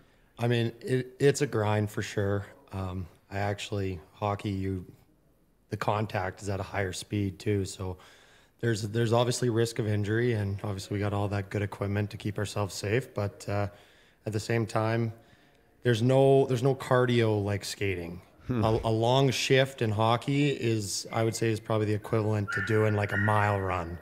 and you can you can run and bike all summer, but it's not going to transition. You're still going to be sucking wind on the ice. And, and especially here, I mean, me being from Calgary, obviously there is a little bit of elevation, but uh, not quite as much as here. So uh, the elevation has definitely uh, been a pretty big transition, and I'm still still feeling it quite a bit. I know there's been a little bit of a bug going around, and uh, that doesn't help either. No. But uh, no, the boys are the boys are rallying here, and everybody's starting to get back their game shape, and uh, I'm excited for what the future is. With as little as we see the Eastern Conference, you know, I know you played in the Eastern Conference quite a bit uh, over the last few years. Had you ever been to Utah before uh, coming with the Grizzlies? No, I've been on two teams that have made the trick the the trek out here, and both times, unfortunately, I was injured. So uh, I've never played in this rink until until here, and uh, I've actually only played one or two of the teams in the division actually. So Oh, wow. this is all this is all new, especially being like this is my sixth year in the league and playing the same teams over and over and over again, you'd think that you'd get the opportunity to play some of those teams you don't get to, but I haven't. So this is all new for me, and I'm very excited. And especially being from Calgary, like I said, this is close. This is the closest place to home for me, and it's very exciting for me and my family. You know, talk about your hockey journey a little bit because I, one of the things I've really enjoyed today is the guys have come through is hearing about people's journeys. So, like, when did you know that hockey was your thing? I mean, obviously, growing up in Calgary, that's a massive hockey market. Um, I grew up hating Theoren Fleury with everything that I had in my body because I was a Blackhawk fan. Like, and so when you you look at your youth, like, when did you know hockey was a thing for you? When did you get the bug? Um, I actually when I when I first started, like the first time on skates, you always hear the story of like from that day, you love it, but no, it's hard and it's challenging and it takes a lot of time and a lot of effort to actually improve and start to see those improvements and like start to create that separation. And I mean, I credit my dad a lot. He uh, he understood that he couldn't just force me into it. He had to he had to do a few things here and there and like kind of like take me to a take me to a Flames game or take me to a Calgary Hitmen game, which was the junior team there, and just kind of like teach me to love the game before before my heart was completely into it. But once once I st- it started transition and I started like see myself because like I was always like a pretty lanky kid and I was a little bit bigger than a lot of the guys I was playing against. Like I one of my good friends, Brayden Point, who plays on Tampa Bay. And growing up, we played spring hockey together. We played winter hockey together. We were on a team for every single year up until we went to juniors. And sure enough, he ends up in Moose Jaw and I end up in Swift Current. So I'm an hour and a half away from him, playing him 10 times a year. So you go from, you go from practicing with this guy and, you know, working off of each other to being key rivals and being on the ice against each other where you got to put that friendship aside. But, uh, no, hockey was hockey from the get go was a little bit. Uh, it wasn't. It wasn't what I expected it to be right from the get go. But it, Yeah. I credit my dad a lot, and the love for the game grew as well as the skill. And from a young age, I was I was fortunate enough to have, be very involved in a lot of successful programs, and that helped me transition to where I went to Bantam, and you kind of you you grow up watching these junior teams, and you're like, oh, like I want to play there, like I want to play in the Saddledome against the Hitmen or for the Hitmen, and that brings us to the Western League draft, where at 14 is a young age to commit to somebody for for that, and going through that process, I was just a kid playing hockey, and then sure enough, it's a month before the draft, and newspaper article comes out, and the hometown team has the first overall pick, and your name's there as a potential first overall oh, pick, and you're like, this could be a dream come true. I could live at home, I could become a man at my own pace. I'm not just going to be a 16 year old who moves away from home. And it all came about, and they decided to go with a forward. All two of them. He's uh, he was a good player, and uh, I was very fortunate enough to go to Swift Current and get an opportunity right from the get go. And um, from there, it was uh, from there it was history. You know, I bounced around little bit later in the career, kind of just trying to find a new new spot and a new opportunity for myself. And throughout those opportunities, I kind of grew as a player and grew as a man Yeah. and it wasn't until pro where I started to face a little bit of adversity. Obviously, being a third round pick, only defenseman drafted by my team. There's a little bit of pressure there, but there's also a lot of confidence in your ability. They're like, we don't need another guy. You, you, this guy can be it. And then you go through the the dark times. Obviously, Buffalo had a had some dark times there. It's nice to see them turning it around, but in my tenure there, I went through three GMs, four head coaches. You don't ever really get a chance to kind of build that relationship and build that build that trust. But so much of success in sports is where you land. I mean, Exactly. you're ta- you, you you wouldn't be sitting here if you weren't talented. But if you're not put into the right developmental system, given the right atmosphere, like that cohesiveness, I mean, do, do you feel like that impacted your career? Um, to an extent, yes. I mean, a lot of the onus has to, as I've grown up and matured, a lot of the onus has to go on me. Like, like I said, I didn't face much adversity growing up. I was always the go-to guy. I was always playing an, an enormous amount of minutes. Like I remember when I was a kid, like Brayden Point's dad was actually my coach, and we were in a key game, and we didn't lose. We we didn't lose. We had a season where we lost one game, and it was in the provincial finals. So we were the juggernaut team, and there was times where it would be the third period, and I would be skating to the bench harder than some of my shifts would be, just because I needed water because they wouldn't let me change. So there's there's awesome. a few good stories there, but all in all, I wish going back on it, just putting the onus on myself because that's all you can control. You can't control other people's opinion on you, and you can't control their outlook on, on you and whatnot. So I put a lot of onus on myself growing up, and uh, I wish I would have faced adversity sooner, so I would have learned how to deal with it and not just be this this guy who had it who had it easy. Be, I rode my talent for as long as I could, and then it starts to get very competitive, and you start facing that adversity. And me, be moving away from home at 16 was difficult. Obviously, billet system. Depending on your billet system, you get a new parental figure. And my first couple of years, I didn't have that. They were very laid back, and I actually very, very much appreciated them. It allowed me to kind of figure things out for myself, but at the same time, you need that parental figure to be like, "Hey, like you can't you can't eat that pizza," or "Hey, you need to be Right. going you need to be going to bed earlier." Yeah. you don't need to be you don't need to be talking to girls. But it also age, now you're here though, man. Like I, I mean, it all it's all formative, right? I mean, I think anyway. So No, it, it, it definitely is. But uh, I'd, I'd say the biggest thing for me is yes, I definitely think I, my situation could have been handled a little bit better. But I'm not going to sit here and whine about that because at the end of the day, it's on me. It's on me to show up every day prepared. It's on my. It's on me to be engaged, coachable, approachable. All all those key intangibles that go into making like you see the National Hockey League players. You see how well spoken they are. You see how well they take care of themselves, and all that. And obviously, having money helps with that. yeah. But at the same time, anybody can do it. They've been a lot of those players have been in this situation, and they found a way to do it. And that's that's the journey that we're at now. It's as you age, you understand that it doesn't last forever, and you got to make the most of what you have. And I think that's the biggest thing going into this year is playing six years in this league. I've only played three playoff games. I see this team as a very deep team. You obviously look at the run that they had last year. You see the tight knit group impacting how many guys came back. And being a new piece in that, you kind of have to find your role in that. And I told myself going in, I was like, this isn't going to be like it was in different situations where you were heavily relied upon. That you have guys who can be relied upon. So you have to find where you fit best and you have to contribute what you can to make the team as a whole successful. And I look at this team and it's very deep. Everybody's very close.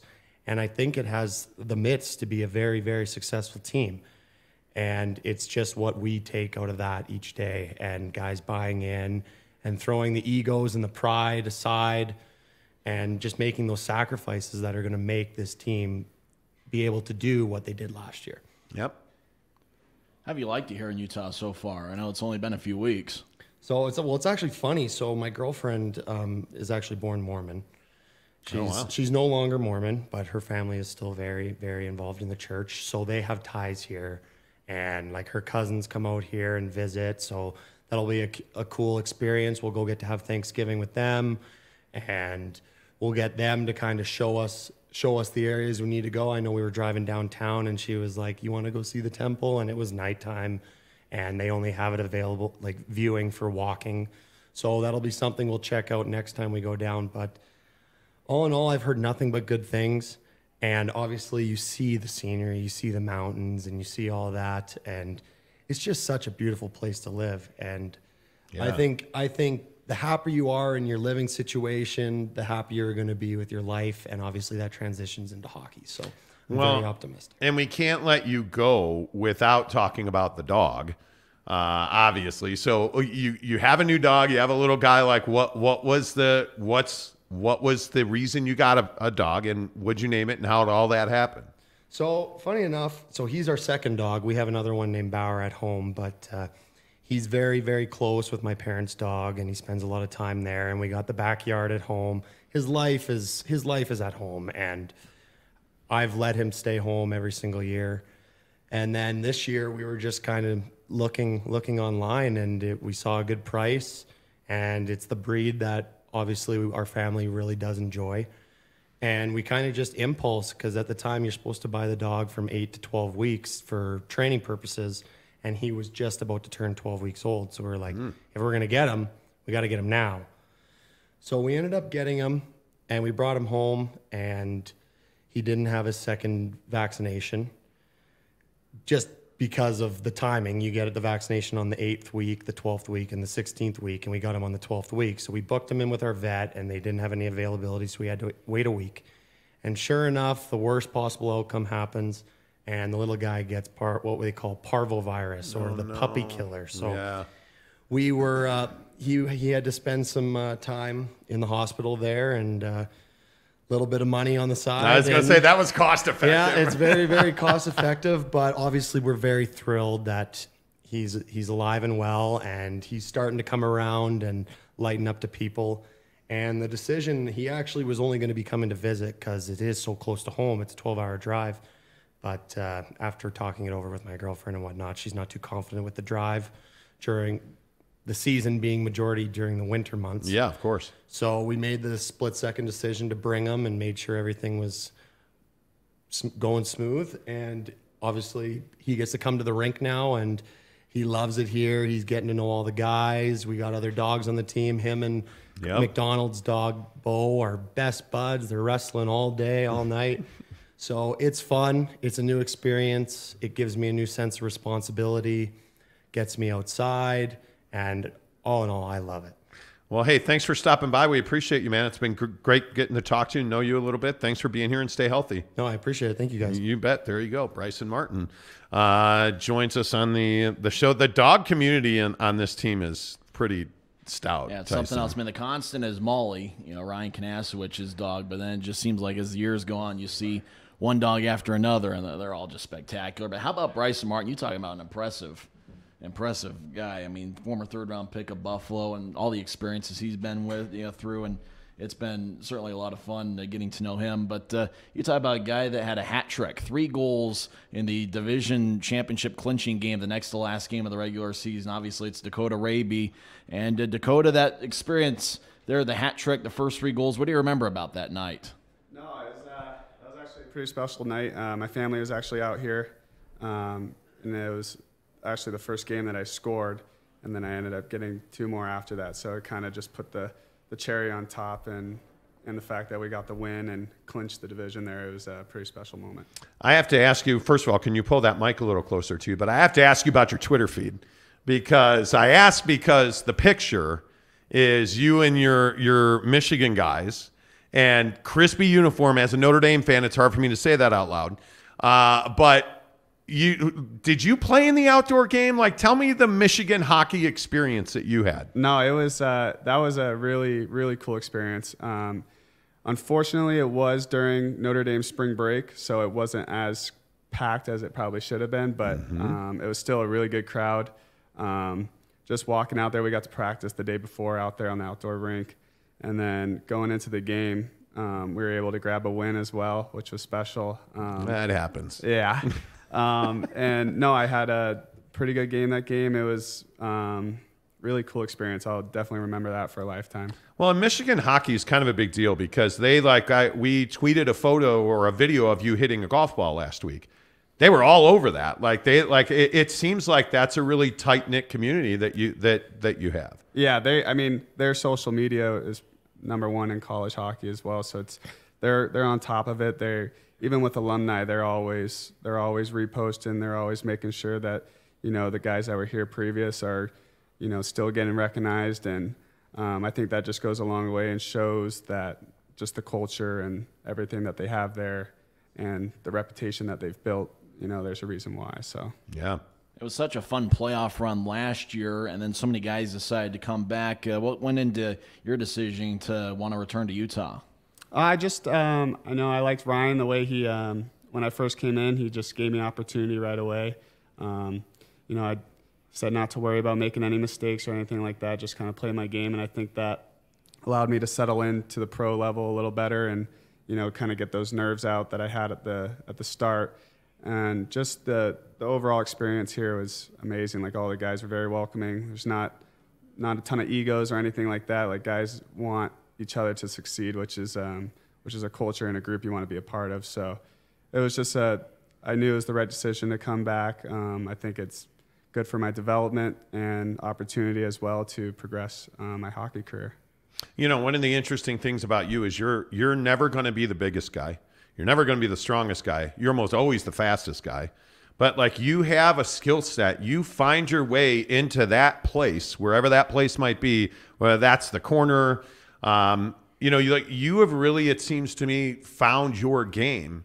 And it, it, I've obviously I've only been watching you for weeks now, but you're you're a better hockey player today than you were the first practice of of training camp. Like, how much of a grinder are you? Because you strike me as a guy who who doesn't rest very often. Yeah, I mean, so I think it goes back to even when I was in Michigan, um, kind of the role that I had there was more defensive and kind of that grinding role, just using my speed to be on the forecheck and everything like that. And I think as I've progressed in college and then now to the pro level, I can use my speed more and that confidence to just get that next level for my game. And I think like now I have a lot more confidence in it. I mean, I trust my skating, I trust um, my shot and everything now. So I think confidence is probably the biggest thing. And and once you have a little bit of success, it's easy to uh, you know Truth. keep rolling with that. So and I look forward to doing that the rest of this year. After four years at Michigan, you transferred to Sacred Heart University. Was that kind of a graduate transfer type of scenario? What was that like uh, transitioning from Michigan to Sacred Heart? Yeah, it was definitely an adjustment in terms of um, treatment and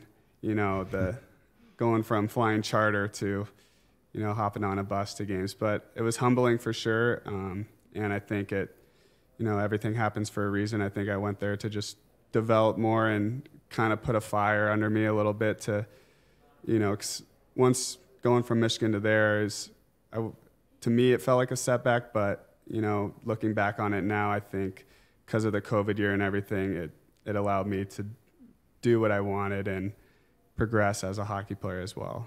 Think about the mental part of what you just said, though. It felt like a setback. Like you played that in your mind like multiple times. So you you also strike me as somebody who is not just you know you you seem like you're you think inside. You're introspective. You look at the you take those things very seriously. Like Yeah. how important was that? How how did that conversation play out in your head? And and at the end of the day, do you ever look back on that and wish you had done something different? Like talk through that. Um, I mean, for me, like a lot of part of it was the vaccination as well. Like I, Sacred Heart was a Catholic school, so it allowed me. I got a religious exemption for it, and that played a factor as well. And um, you know, just with with hockey, I knew if I got out of there and made it to pro, I mean, at the end of the day, if you're good, they're gonna find you. So I, yeah, I probably didn't put up the numbers that I wanted to there, but you know, it got me here, and I can't complain about that. And then, and then since I got here, I was able to, you know, to put up more points than I did in ten games than I did all of college of Sacred Heart that year. So I think it just the pro games kind of helped my game. I think I transitioned to it better than college, but you know, everything happens for a reason. I'm thankful Yeah. for it. Truly blessed for sure. What are the things you remember most about the Grizzlies' playoff run last year?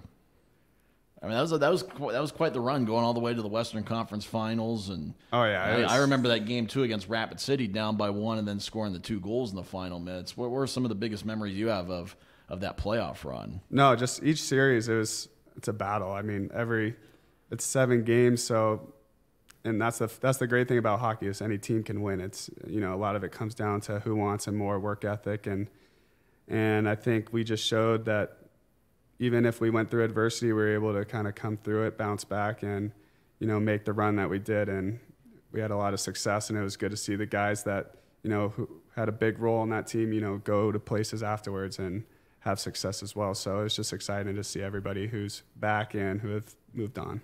Dakota, one of the other things I think that I've enjoyed about your game is you tend to get the puck to the net. You you're not a guy like it. There's guys like you, you you have to do it right. Like you have you have smaller margin for error because you're not going to be a, a first line guy. So how much pride do you take in that? Because I mean, I thought you were pretty sensational in, in Boise in the preseason. That was that I thought that was a strong performance for you. Like how much pride do you take in in doing it the right way and getting pucks to the net?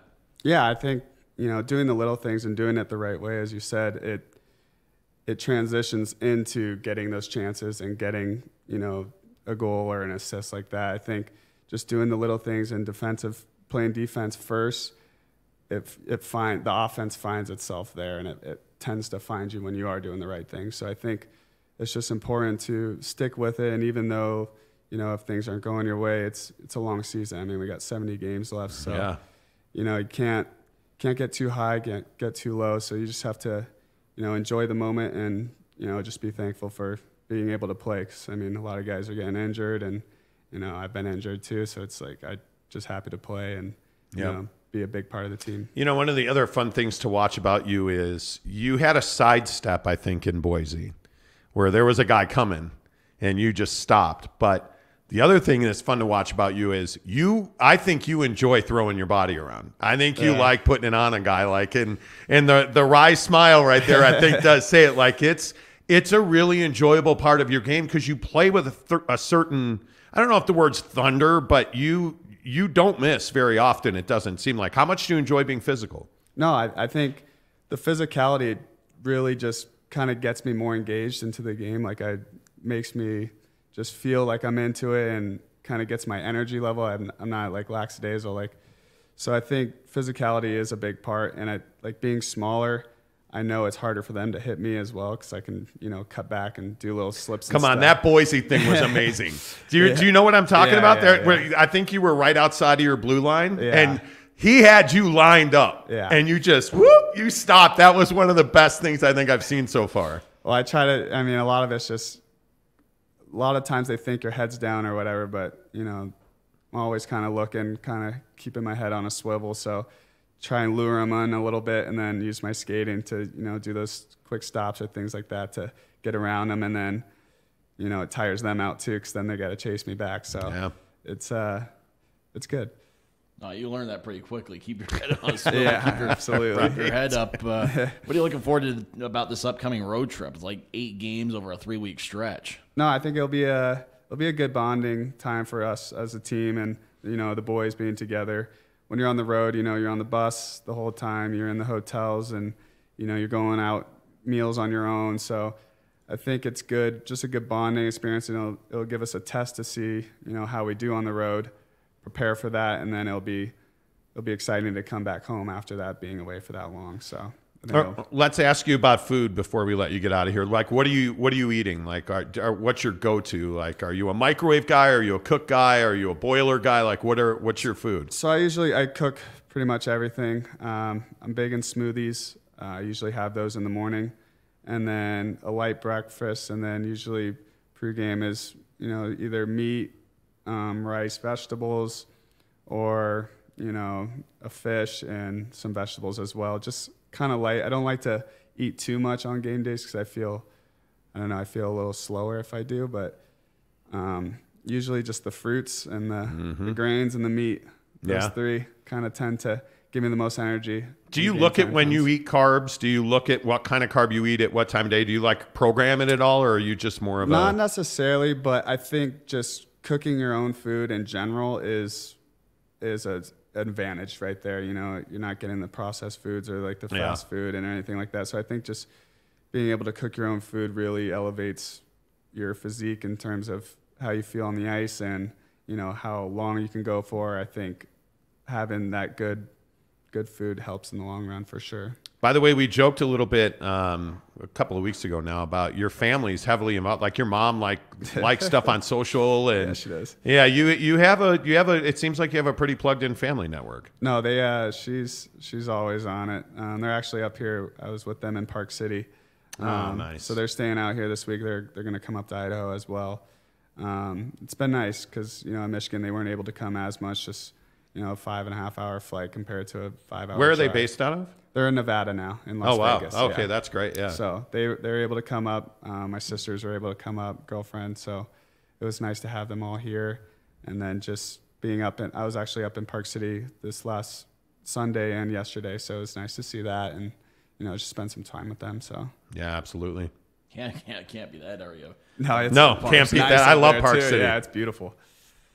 All right, cool, Dakota. Good to meet you. Thank you very much. Yeah, uh, I always, you know, I appreciate you. You're one of the, you're one of the, uh, you're one of the more interesting dudes on this team. Like Thank you're you. not. I yeah. appreciate that. Yeah, Thank so you. good to see you. Thanks for coming in, man. Stay healthy. Absolutely, thank you. There you go. Dakota Raabe uh, joining us on uh, Media Day 2022, 2023 Media Day. Um, Dylan Fitze is going to hop in here in just a bit, but um, I mean the the what's the makeup of this team is phenomenal, and I know Ryan talks about that a lot, but the makeup of this team is just phenomenal. It's one after another. You just see well-spoken guy after well-spoken guy, and you just it's um, you can just tell the camaraderie is something special, and that's a big reason as to why you see so many guys come back from last season's club.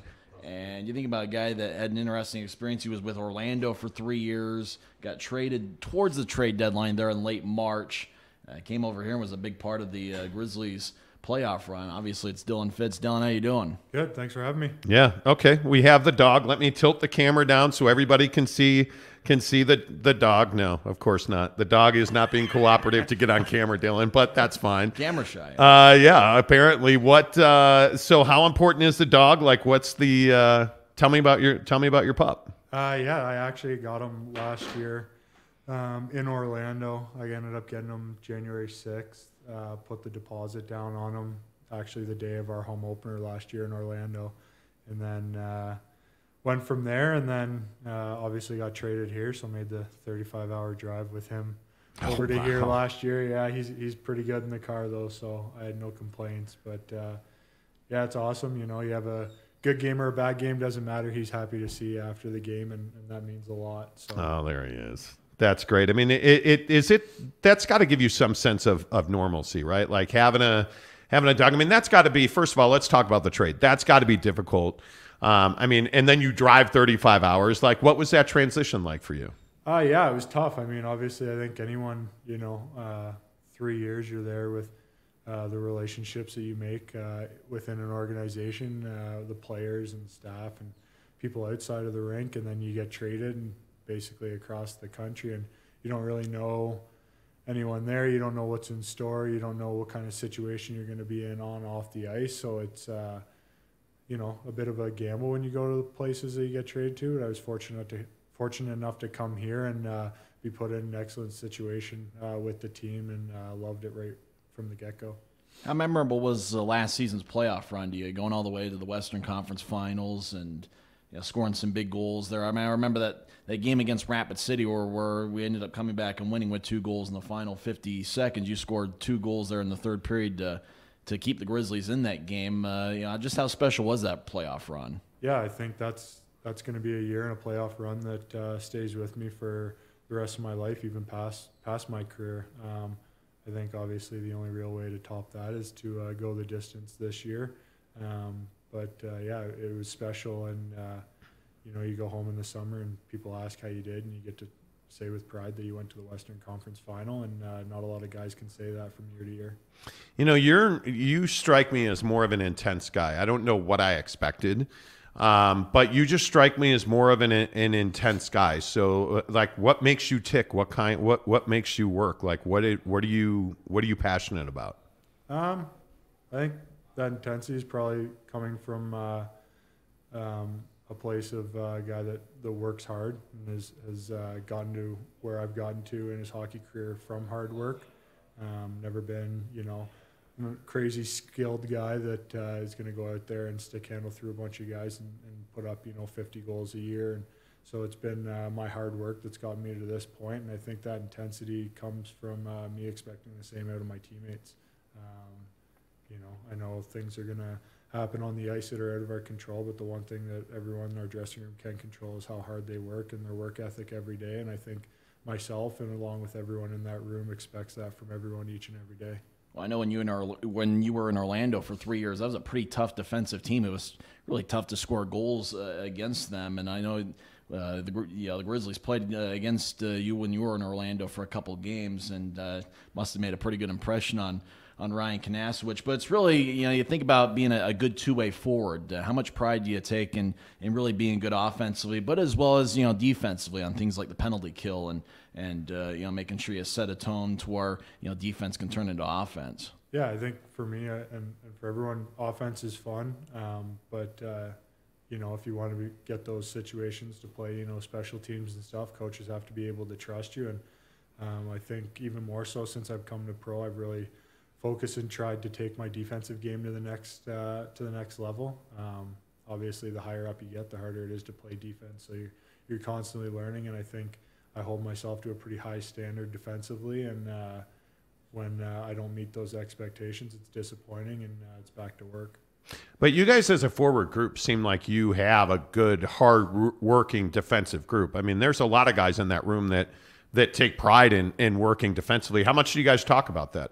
Yeah, I think uh, you know. I think with our team and, and probably other teams, you know, offense stems from good defense. Uh, the less that we can have the puck in our defensive zone, the, the more time we get to go play with it down there. And I think uh, we've got so many guys that are so offensively gifted, and as you mentioned, defensively uh, stable as well. That that leads to a lot more offense for us. So, like I said, the faster that we can get out of our zone, the better it is for us. Well, isn't that what wins you games? I mean, I'm a big believer that it's it's all great that everybody wants to score goals and be on whatever. I think your blue line, but I think your defensive forwards, your ability to forecheck, your ability to back check.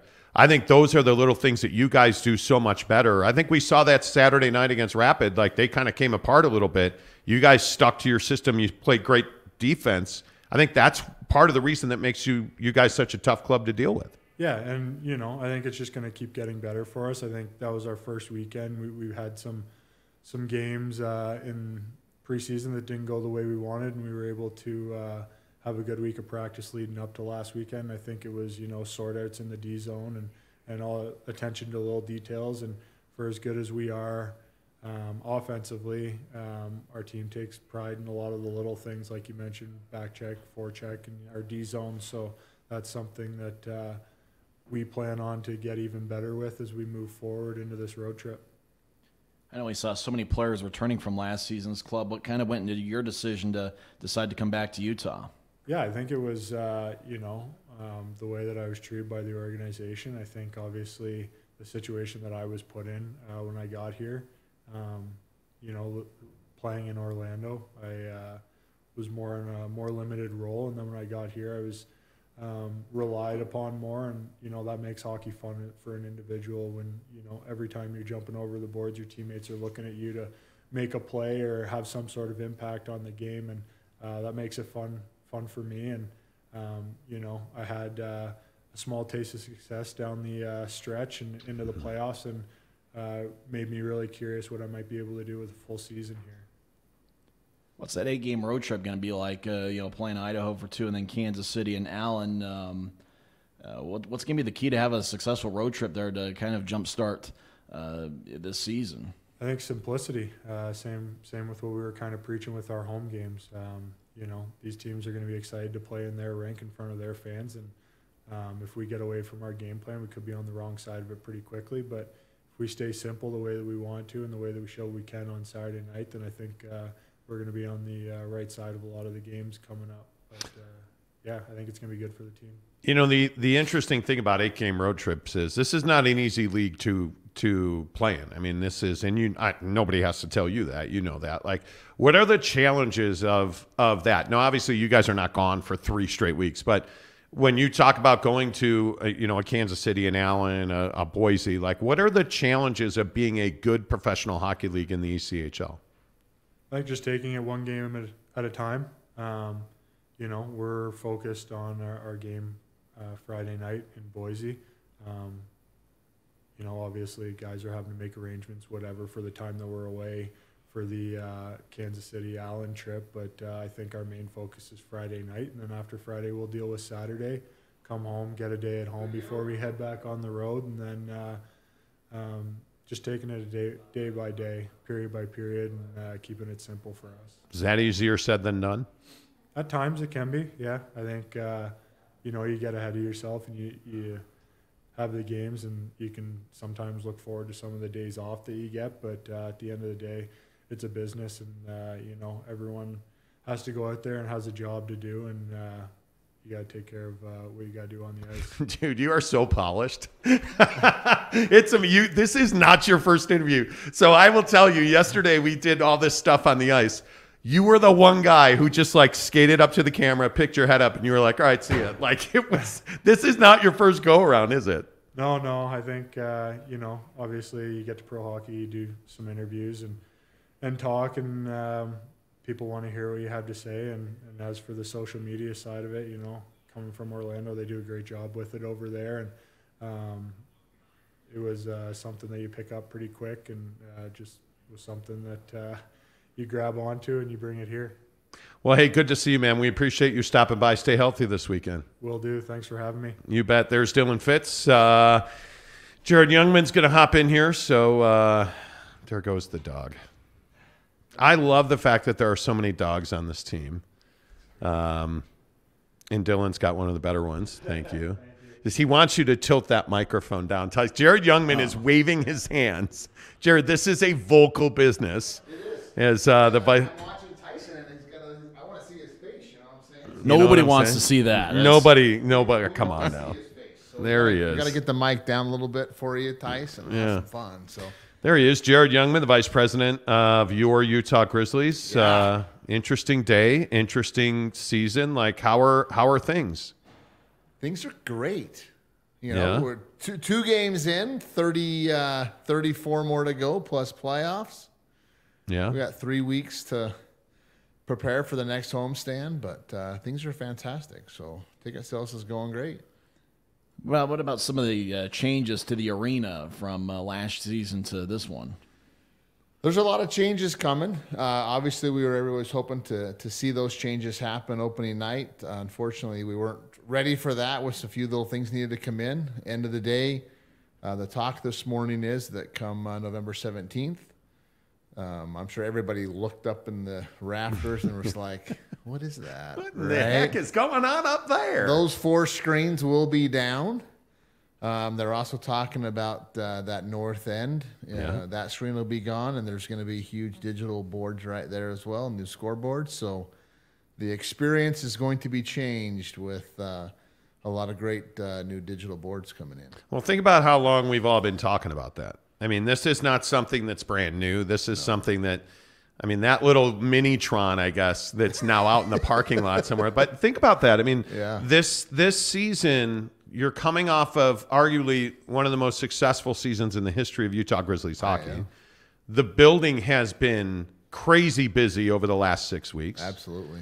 And I still can't believe that you had a rodeo concert combined event Right. in here on top of ice. Like, think about everything that you guys have been through, and then think about this process of putting in those those boards. You know, the center hung, You're right. all those ribbon boards, as they're called. I mean, this is not a small undertaking. What goes into a project of that size? There, eh, there's a lot, right? I mean, you're just the fact of getting the old stuff down.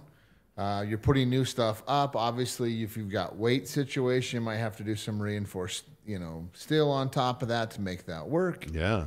You know, they were uh, had to do some some reinforced stuff at the top of the uh, catwalk area, so the, the big boards now can be reinforced there. it's all timing, right? I mean, like you talk about, you know, even looking at okay, when are we gonna get the ice in? Well, that ice went in and covered for, you know, Immediately, the- it was the- immediately for the for the, the dirt rodeo concert. And then they had a show that, you know, I think they announced that, you know, three, four, five weeks out, which is usually not what happens. And it was a sold out show um, the next day. So So, then, then that little dude Jack Harlow was here. You know, yeah, like those- how crazy was that Yeah. crowd, right? Oh, it's nuts. Well, and like we were even talking today, right? I mean, we've got a little bit of a lull, but you know, here in the next week, you've got Jake Owen coming in, and then you've got, you know, three more concerts, and you've got hockey, and obviously the, the Salt Lake Stars are now going to be playing out of here. So you've got Oh, just the Salt Lake y- Stars, Yeah, you you, know. you got basketball now. So I mean, there's there's going to be a lot of a lot of stuff happening. Um, to make it work, so I mean, end of the day for us, it's you know, it's all it's all hockey for us, right? But, yeah, yeah, yeah. But it's great seeing people come through. What kind of an impact has uh, Ryan Kinasewich had in the organization in his time as head coach? Uh, Ryan has had a huge impact. Um, you know, I think everybody loved Tim, and it was a great opportunity for you know for Tim to to move up uh, last year. Ryan taking over in September last year, end of September. I think it had a lot of people questioning, you know, what's going to happen this year, not having the offseason to really go out and you know bring players in. But with you know what Ryan did with the help of Colorado bringing players in, um, you know, and obviously watching you know all the players talk about Ryan being a player's coach, right? Um, Ryan knew how to take care of those guys, how to make them work, what to do, um, and he brought um, a huge, huge opportunity for the boys that come in here. You know, we win the, the division, we go on to the playoffs. Um, you know, and, and even this, you know, this su- this summer was lot. It was a huge effect. Fans wanting to see it. I mean, Utah is is a is a sports town that wants to see wins, um, and with what he's done for us, um, we had a huge successful off season when it comes to season tickets and mini plans. You know, being purchased and seeing an increase there. Um, groups is going to kick up and make things happen as well. So Ryan's, you know, fantastic. Um, you know, I will say uh, we in the works. We do have a Ryan Kinasewich bobblehead that's coming out. Oh, wow. Um, it'll it'll be a it'll be a giveaway that's just for ticket package holders. We'll probably have a few extra. We'll sell up in the team store or add to a ticket package. But you know, you want your Ryan Kinasewich bobblehead. The easy way to get it is to have season tickets or a mini plan for sure. Do you know anything about selling tickets? Like, are you, you know, can you tell people maybe how can you buy tickets or anything like that? Maybe. Let me let me try it and see. I, I, putting me on the spot like that, it might might uh, might hurt. But no, I mean the easiest way to do is to, to call call the Grizzlies office nine eight eight eight thousand. You know, you can speak with myself. Spencer's in the office. Jamie's in the office. Kieran's in the office. Um, you know, we're happy to help. You know, end of the day, you've got season tickets and then you've got mini plans. We've you know, you want to create six six game pack or a twelve game pack. We'll create whatever package you want to create Yep. um, to get you come out. Obviously, the biggest thing for most fans is it's that seat. They want their specific seat. Um, But think about how chick- ticket sales changed during the pandemic. Oh, yeah. Like, I mean, if you think about, like, you, there are no such thing really as paper tickets anymore. Like, you're getting things sent to your phone and your email. And, like, what were the challenges at this level, right, in minor league sports? Because essentially, this is double A hockey. You have a level above you that's triple A and then, then the NHL. Yeah.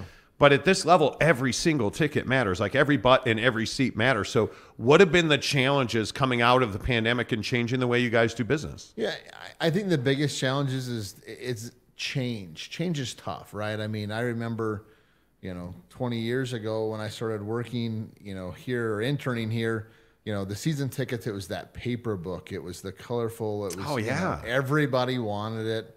Um, and then, you know, everything going digital. I mean, three years ago, we went digital with Access, um, and the change kind of got to the, the fans. It's hard.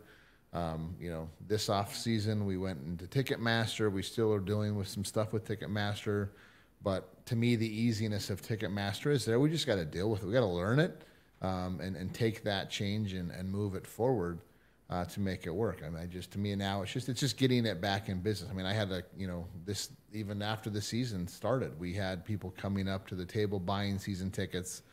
You know, I got a phone call from a former former season ticket holder saying, "Hey." you know, it's time. You know, I mean, the, the, the COVID hurt because it took people away. Mm-hmm. Um, and now that we're getting back into it, it's, you know, seeing the fans and seeing the, to me, it's a relationship situation. You know, it's like seeing, you know, people on the concourse and, you know, after even you guys moving back, right? And seeing you, it was great Yeah. to see you guys and talk to you and see these fans. And, you know, you've got, you know, Gene Butler, season ticket holder down in one, one, uh, 113. You know, we score a goal and that man runs He's a mar- high-fiving everybody. He, he is, right? I mean, he, he's yeah. jumping, he's jumping down seats, he's running across, high five and goes up. And, and that's something that it's so fun to see um, because it, he gets people involved. In, But in that's that what sports is, man. Sports is it's it's this unique relationship we have with each other. Right. You don't have to know each other. You don't even have to know my name. Right. We're gonna cheer a goal together. We're gonna like. I mean, we're all gonna be excited. That's what this building's Yeah. about. That that's what it represents to me. Anyway. Hundred percent. I mean, it's and to me, I've always looked at it as here's an opportunity to get out of the world, Yeah. right? I mean, let's let's leave all the the junk and what's going on, and say, you know, something we can come in here and and we can laugh and scream and yell and you know, I mean, I've shed a few tears with some losses, and you know, we cry and you know, just it's it's about just having fun and enjoying the experience and creating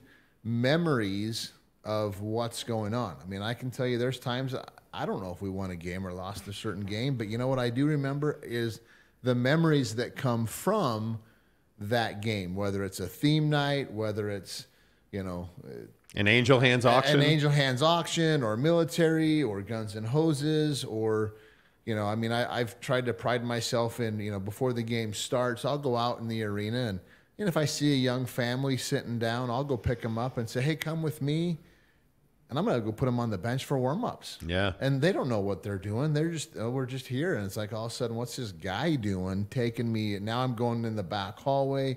Now i'm going through a locker room and all of a sudden i'm on a bench. And It's then cool. the players, I mean, you've you both obviously have seen it, but the players get out there, they're skating, and then they'll come over and they'll high five, and sometimes they're going to get a puck, you know, and those kids, are, I mean, you see them smiling. The look on their face. It's awesome, right? And Yeah. or or it's Yeah. the you know it's the kids smiling, but then you look at the parents, and the parents, you know, it's just like, wow, because their kids are happy, the parents are even more happy. Yeah. it. So it's just it's all about having fun. Totally. Was there a memory that kind of I, I think about the the game two against Rapid City, those two goals, the final fifty seconds, kind of being my favorite memory. You got a favorite on ice memory of a Grizzlies victory or a Grizzlies moment that stands You know, out? I- the most recent one is that, right? I mean, it's the fact that, you know, I was probably not happy with where we were going with that. I mean, obviously we get into the playoffs, we want to keep going, but but that was huge. And and not only for me, to me it's the fans, right? I mean, it was the fact of standing there in the suite, looking at these fans, you know, the, the first goal goes, now we're down, you know, now we tie it up now, and it's like everybody's happy. Okay, we're gonna go to overtime, and all of a sudden the second goal, and the fans just erupt. I mean, the fans were so excited, and you see that the players are excited. You got the fans on the on the glass are banging the, the you know the glass about it. This is excitement, and that's to me, it's like okay, that's a win. You know, I mean, it's the win to give these people the experience to say, here's where it's at, right? I mean, a lot of it, a lot of my stuff probably is more off the ice stuff. Yeah. It's the, Yeah. you know, it's finding these kids. I mean, we had a kid last year that had had, had some some issues with abuse, um, but we, you know, through a roundabout way, we got him to come to some games and got him on the bench, and to see him change and to hear his mom talk about his change meant more to me than the fact that you know we've got something going on, on the ice Yeah. you know, or if Yep. it's it's families, and I'm mean, I'm always trying to find, you know, well, who's, you know, what's the next group or what's the next people we can go to to bring people in um, to experience it. I mean, I wasn't a hockey guy growing up. Now I'm a huge hockey guy, and Yeah. to me, you know, I mean, Tyson, you've seen it. You've probably seen it too in, in, in our conference room. Right? Everybody's a hockey fan. They just Yeah. don't know it yet. You Yeah. have to come to a game. You have to see this game live and experience it live and see what's going on. And Does it surprise you when when you hear people say like, "I didn't know there was a hockey team here," or you know, I, we the building was so great this weekend, and I cannot tell you how many people said to me, "Man, I didn't know it, about this. I didn't know how great this was." Like, does that surprise you when you still hear that? No, it, it doesn't. I- And I think a lot of it, it's just it's just the fact that there's so much going on, you know, in the state.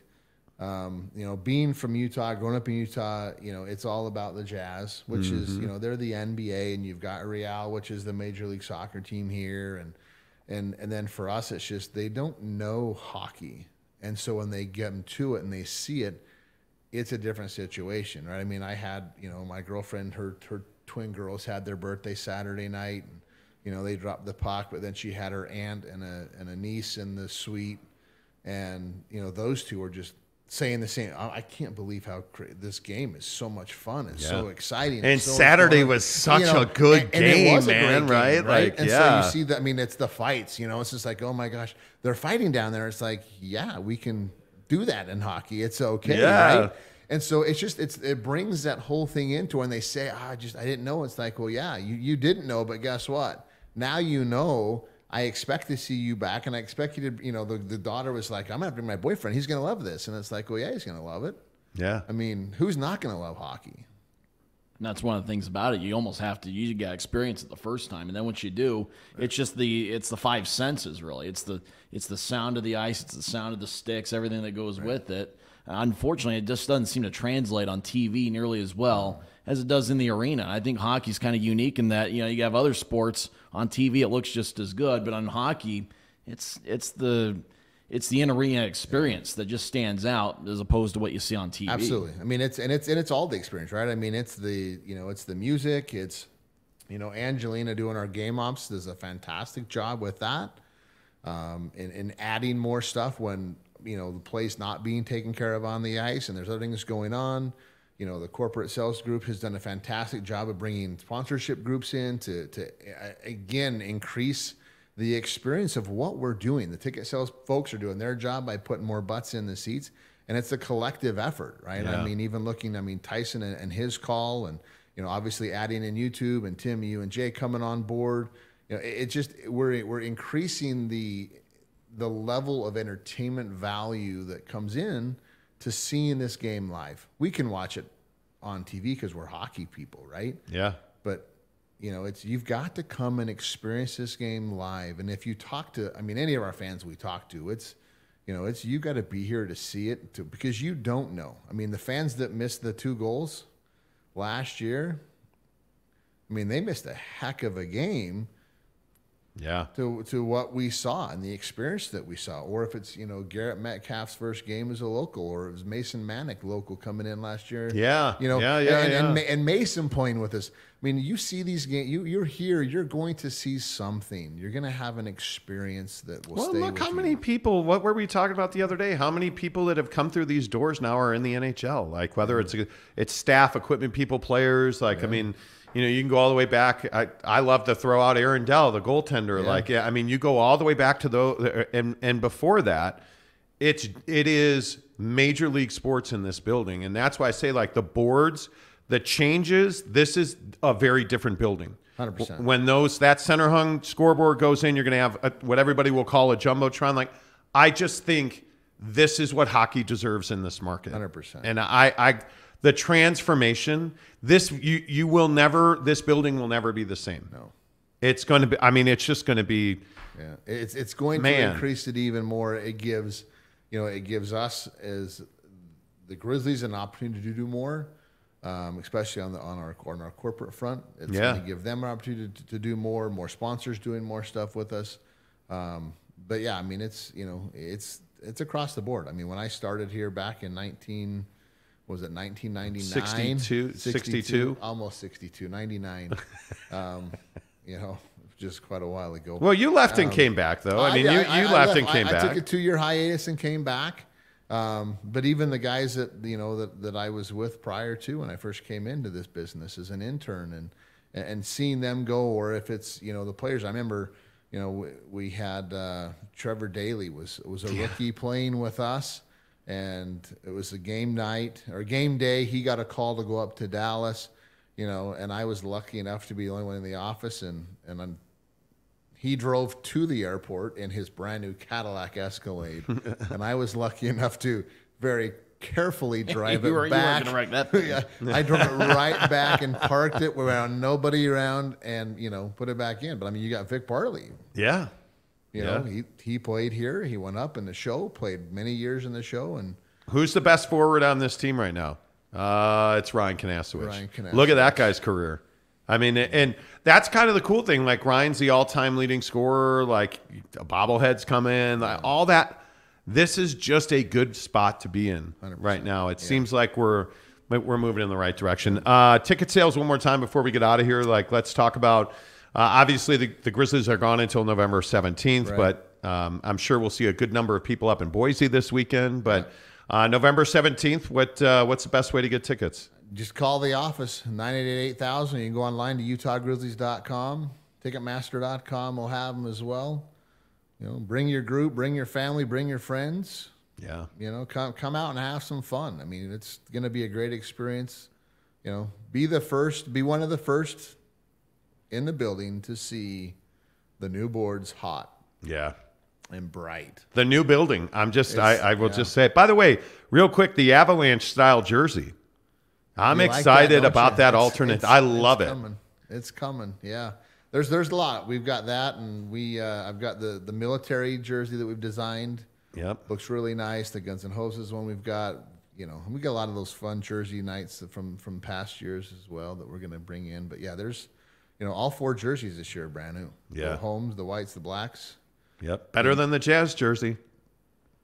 Oh, the mountain one's pretty good though. I, I, the, the white jersey's starting to grow on me a little bit. And No, it's others. not. No, it's not. The yellow is good. And we got Pooch on the Pond. Uh, we've seen some dogs here in the studio. Yeah. Pooch on the Pond, yeah, I think, Pooch is on on, the Friday. Con is coming up. Yeah, that's Friday the 18th. Yeah. yeah. you That's want to call the office to get to get that ticket, but yeah, bring. I'm sure we get all these, you know, players' dogs will probably be in the building. Oh, yeah. What a great opportunity, right? I mean, even the pooch on the pond. You know, Yeah. it's like It's you love your dog that much, bring your dog to a game and have some fun with us. Yeah. it's great. Do it. UtahGrizzlies.com. Jared, thanks so much for stopping Thanks by. for having me. You bet. There you go. Tyson Media Day is in the books. Yeah, my my first one like this. You know, there's been other media days, uh, but this is certainly a lot of fun. We saw a lot of great players. and We saw a lot of great stories. How about Brycen Martin? You talk about an impressive Mm. Young man, Brycen Martin. You know, he's got some stories. This is his eighth team in the league, and you Yeah. know the stories that he can tell, and really the journey that he had. You know, being a third round pick and kind of going through the struggles. Like that was interesting. We talked about you know how uh, you know he hadn't really faced too much adversity until all of a sudden you know you're in pro hockey and you know you're starting to face some adversity and Yeah. how do you handle that? I mean, we saw some or we really heard some interesting stories and since we're on YouTube, you know, we're on this stream, we saw some good stories too. Yeah, and it'll live forever, by the way. Uh, so if, if you missed any of the stream today, make sure you go back watch from the beginning. But uh, a real pleasure for uh, Tyson Whiting and all of the Utah Grizzlies that uh, came by. We'll talk to you. Tyson and I will be in Boise uh, on Friday night doing the uh, doing the game live this weekend. Uh, I'm, so wa- I'm walking starting right now. I'm going to walk to Boise, you know, get there by Friday. they told me they were chartering a jet for you. They and it was going to be fully catered, and they told me it was like a whole thing. no, no, no. Maybe doing this on the side of the road. See if somebody can pick me up. well, uh, hitchhike carefully, and uh, I will. Uh, I will be there with you. We'll see you Friday in Boise. Thanks so much. Uh, hopefully, see you in the building too. November seventeenth. Come and see it all because it's going to be spectacular. We'll talk to you soon. Thanks so much.